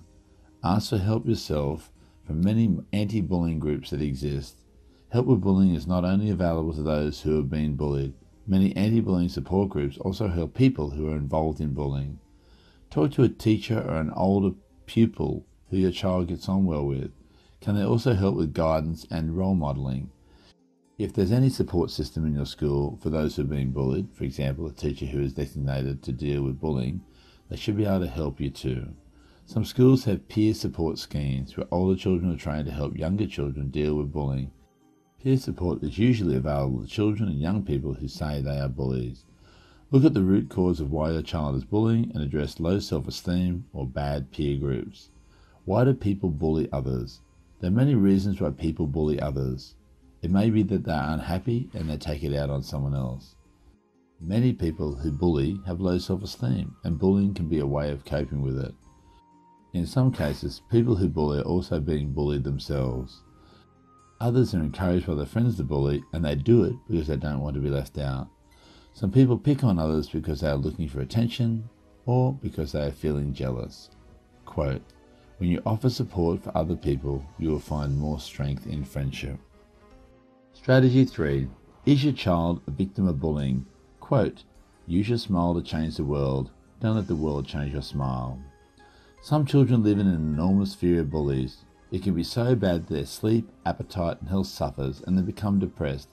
If your child is always a target, chances are that he or she needs to learn how to avoid contact with bullies, look for a different route home from school, swap classes, try to have them attend different class times. Assert the message for the bully to back off if confronted. This is where martial arts is handy. Stop aggravating bullies, however innocently. Tell your child to stop interacting with them completely if at all possible. Learn some self defense tactics as a backup, but be warned advertised skills attract challenges. Again, martial arts will teach self defense and general conflict avoidance strategies. Whatever the tactics, the message must be that bullying is not acceptable. Bullies have a tendency to pick on victims by force who they feel are not capable of retaliating or cannot handle remarks that they are made. In order to decrease a person's self esteem, the best defense is not attack, but a strengthening of a child's inner resources. Bullying takes away self confidence in a child, and this can lead to more health problems, including stress, anxiety, loss of appetite, lack of interest in activities, and in some serious cases has led to suicide. The message here is that you must take it seriously and do all you can to help your child. The most important thing to do about bullying is to tell someone. Your child may be afraid of the bully, but your message to the child is for them to never be afraid of talking to someone about it. Parents in particular, if your child is being bullied, you should be the first to respond and seek help. All schools are very aware of bullying and have programs in place to assist you. Once again, if you're not successful, then don't give up until you get results. Strategies to help yourself, a child's perspective. If you think your child's being bullied but is reluctant to involve you, have them read this section. It may help them formulate a strategy to solve their issues. There are lots of ways to stop being bullied, but believe it or not, yelling at the top of your voice, back off, is one of the most effective ways to stop someone bullying you. It throws a spotlight back onto the bully, and in doing so can embarrass the person in front of others. It can also make them realize that their actions are that of a bully. Remember, some people don't know that they are bullying. If you don't feel you have the confidence to do this, then you need to look at other options that may suit you better. Tell someone if you've been keeping things to yourself, a situation may appear to be overwhelming than it actually is. The person you tell may help you see the situation in a new or different perspective. Someone outside the situation will be able to be more neutral about what is going on. They may suggest options that you had never thought of before. Talking through your concerns can also release a lot of pent up tension and give you new insights into what is going on. It works, so please do it. Other important things to remember once you tell someone that you trust about being a victim of bullying and it still continues, talk to someone else until you get a positive response and the bullying stops. Of course, talking to someone else happens after the event. Here are some strategies to try when you're actually being bullied. These should be only tried if you're not in any immediate danger of being physically hurt and you feel confident that you can do them. Ignore the bully and walk away. Act unimpressed or pretend you don't care what they say or do to you. You could say, okay, whatever, and walk away. Use some strategies like fogging to discourage the person bullying without antagonizing them. Fogging is a technique that distracts the bully. You can give the bully a funny comment that makes them think you don't care about what they say. Finally, it is most important to work on building self confidence in yourself. When you feel very good about yourself, it is very hard for others to make you feel bad because a comment seems so silly or untrue. If you're being bullied because you are the smart one at school, keep on being smart. They're just jealous. If you look different, develop some sports skills, or come along to a martial arts class, ask your mum and dad to help you find a solution. Remember, bullying is a major issue, and no matter where you are or who you are, help is just around the corner. Strategy 4 the bystander. Quote, if you turn your face the other way when someone is being bullied, you might as well be the bully too. Bystanders can react in different ways when they see or know about bullying. Generally, they're other children. Ask your children to read this section so that they know that they can do something about bullying, especially if it happens to a friend. Some bystanders take the side of the bully by laughing at the victim encouraging the bully, or by passing on text messages or messages on social media sites like Facebook and YouTube. Some bystanders will give silent approval or encourage the bully by looking on. Some bystanders may watch or know about the bullying but don't do anything. They might not know what to do or are scared. This group of bystanders knows that bullying is not okay, and some bystanders will be supportive and take a safe action to stop the bully, find help, or support the victim. Strategies to help your friend. Quote, Where there is unity, there is strength. When you stick together, you can overcome anything. If you have a friend or someone who needs your help, there are actions you can take. Refuse to join in if you see someone being bullied. It can be hard to resist if a bully tries to get you to taunt or torment someone, and you may fear the bully will turn on you if you do not participate, but try to stand firm. Make it clear to your friends that you won't be involved in bullying behaviour. Attempt to diffuse bullying situations when you see them starting up. For example, try to draw attention away from the targeted person, or take the bully aside and ask him or her to cool it. Do not place yourself at risk, however. If you can do so without risk to your own safety, get a teacher, parent, or other responsible adult to come and help you immediately. Do not harass, tease, or spread gossip about others. Never forward or respond to messages or photos that may be offensive or upsetting. If bullying is serious, report it to the police. If bullying occurs on Facebook, report it to Facebook. Speak up and or offer support to bullying victims when you witness bullying. For example, helping them up if they have been tripped or knocked down. If you feel you cannot do this at the time, privately support those being hurt with words of kindness and condolence later. Encourage bullied victims to talk with parents or a trusted adult. Offer to go with the person if it would help. Tell an adult yourself if the victim is unwilling to report the bullying. If necessary for your safety, do this anonymously. Strategy 5 Steps you can take to help your child. If your child has been a victim of bullying, they may feel reluctant to tell you about it. They may clam up, but gently persuade them it's okay to tell you about it and that you won't go storming off to the other child's parents. What you will do, of course, is understand that your child still has to go to school with the other child or children, but you'll ensure steps are taken at school to stop the issue. Most schools these days are very capable when it comes to stopping bullying. Of course, children have to learn to cope with the good, the bad, and the ugly. That's life. But feeling bullied makes learning unattainable, disagreeable, and downright painful. For parents, a child coming home clearly upset and distraught from an incident at school is confronting. A sound piece of advice is to work with the school, don't rush into phone calls with other parents. What to do after a bullying incident? Firstly, you need to determine whether the incident is in fact bullying. Unfortunately, what we once considered teasing is now called bullying. There are always two sides of a story. Listen to all the information from your child, bearing in mind that his or her perception may not be the same as the other child's. The incident may have been bullying, or your child may have been involved in a dispute over a decision. If it is a one off incident, confront your child and talk them through the situation together, looking for ways to solve the problem. It is important that the parents don't take over and allow the child to solve the problem themselves. If it is bullying, action needs to be taken. Children don't want to trouble parents with their problems, so you may not find out about the bullying until well into the bullying cycle. Comfort your child and tell him or her that you won't allow the bullying to continue. Talk to the teacher with your child in a three way discussion to come up with a solution that has the greatest support and awareness of all parties, then organise a review. Research shows that the best way to deal with bullying is to get bystanders to stand up and do what is right. This is best done by a class coming up with its own code of conduct. This way, the children assert their own rules for their behaviour. That is, they learn to take ownership and responsibility. Parents should support their children by following up on reported bullying incidents. Having the support of your parents and another adult is a good confidence booster for the children. It is important to support your child as they may lack the skills and confidence to deal with the bullying issue on their own. People who are bullied are victims and need support from people who care. Longer term additional strategies. What else can you do? The biggest and best strategy lies in giving your child self confidence and self belief. When they have the inner strength and see bullies for what they are, scared people, then the impact is not nearly so great. Building confidence. Being shy, not having the ability to communicate with others, and low self esteem are perfectly normal for the majority of children, in some cases, adults. The easiest way to build confidence in children is to encourage them in whatever they do sport, school, work, appearance, etc. Find something they show promise in, in any endeavour, and encourage that interest. We all need something we excel at to take our place in society.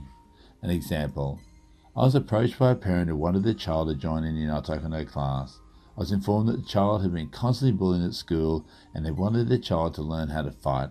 I redetected their intentions by saying, We teach self defense and our focus is on learning to be disciplined, increase self esteem, and above all, increasing self confidence.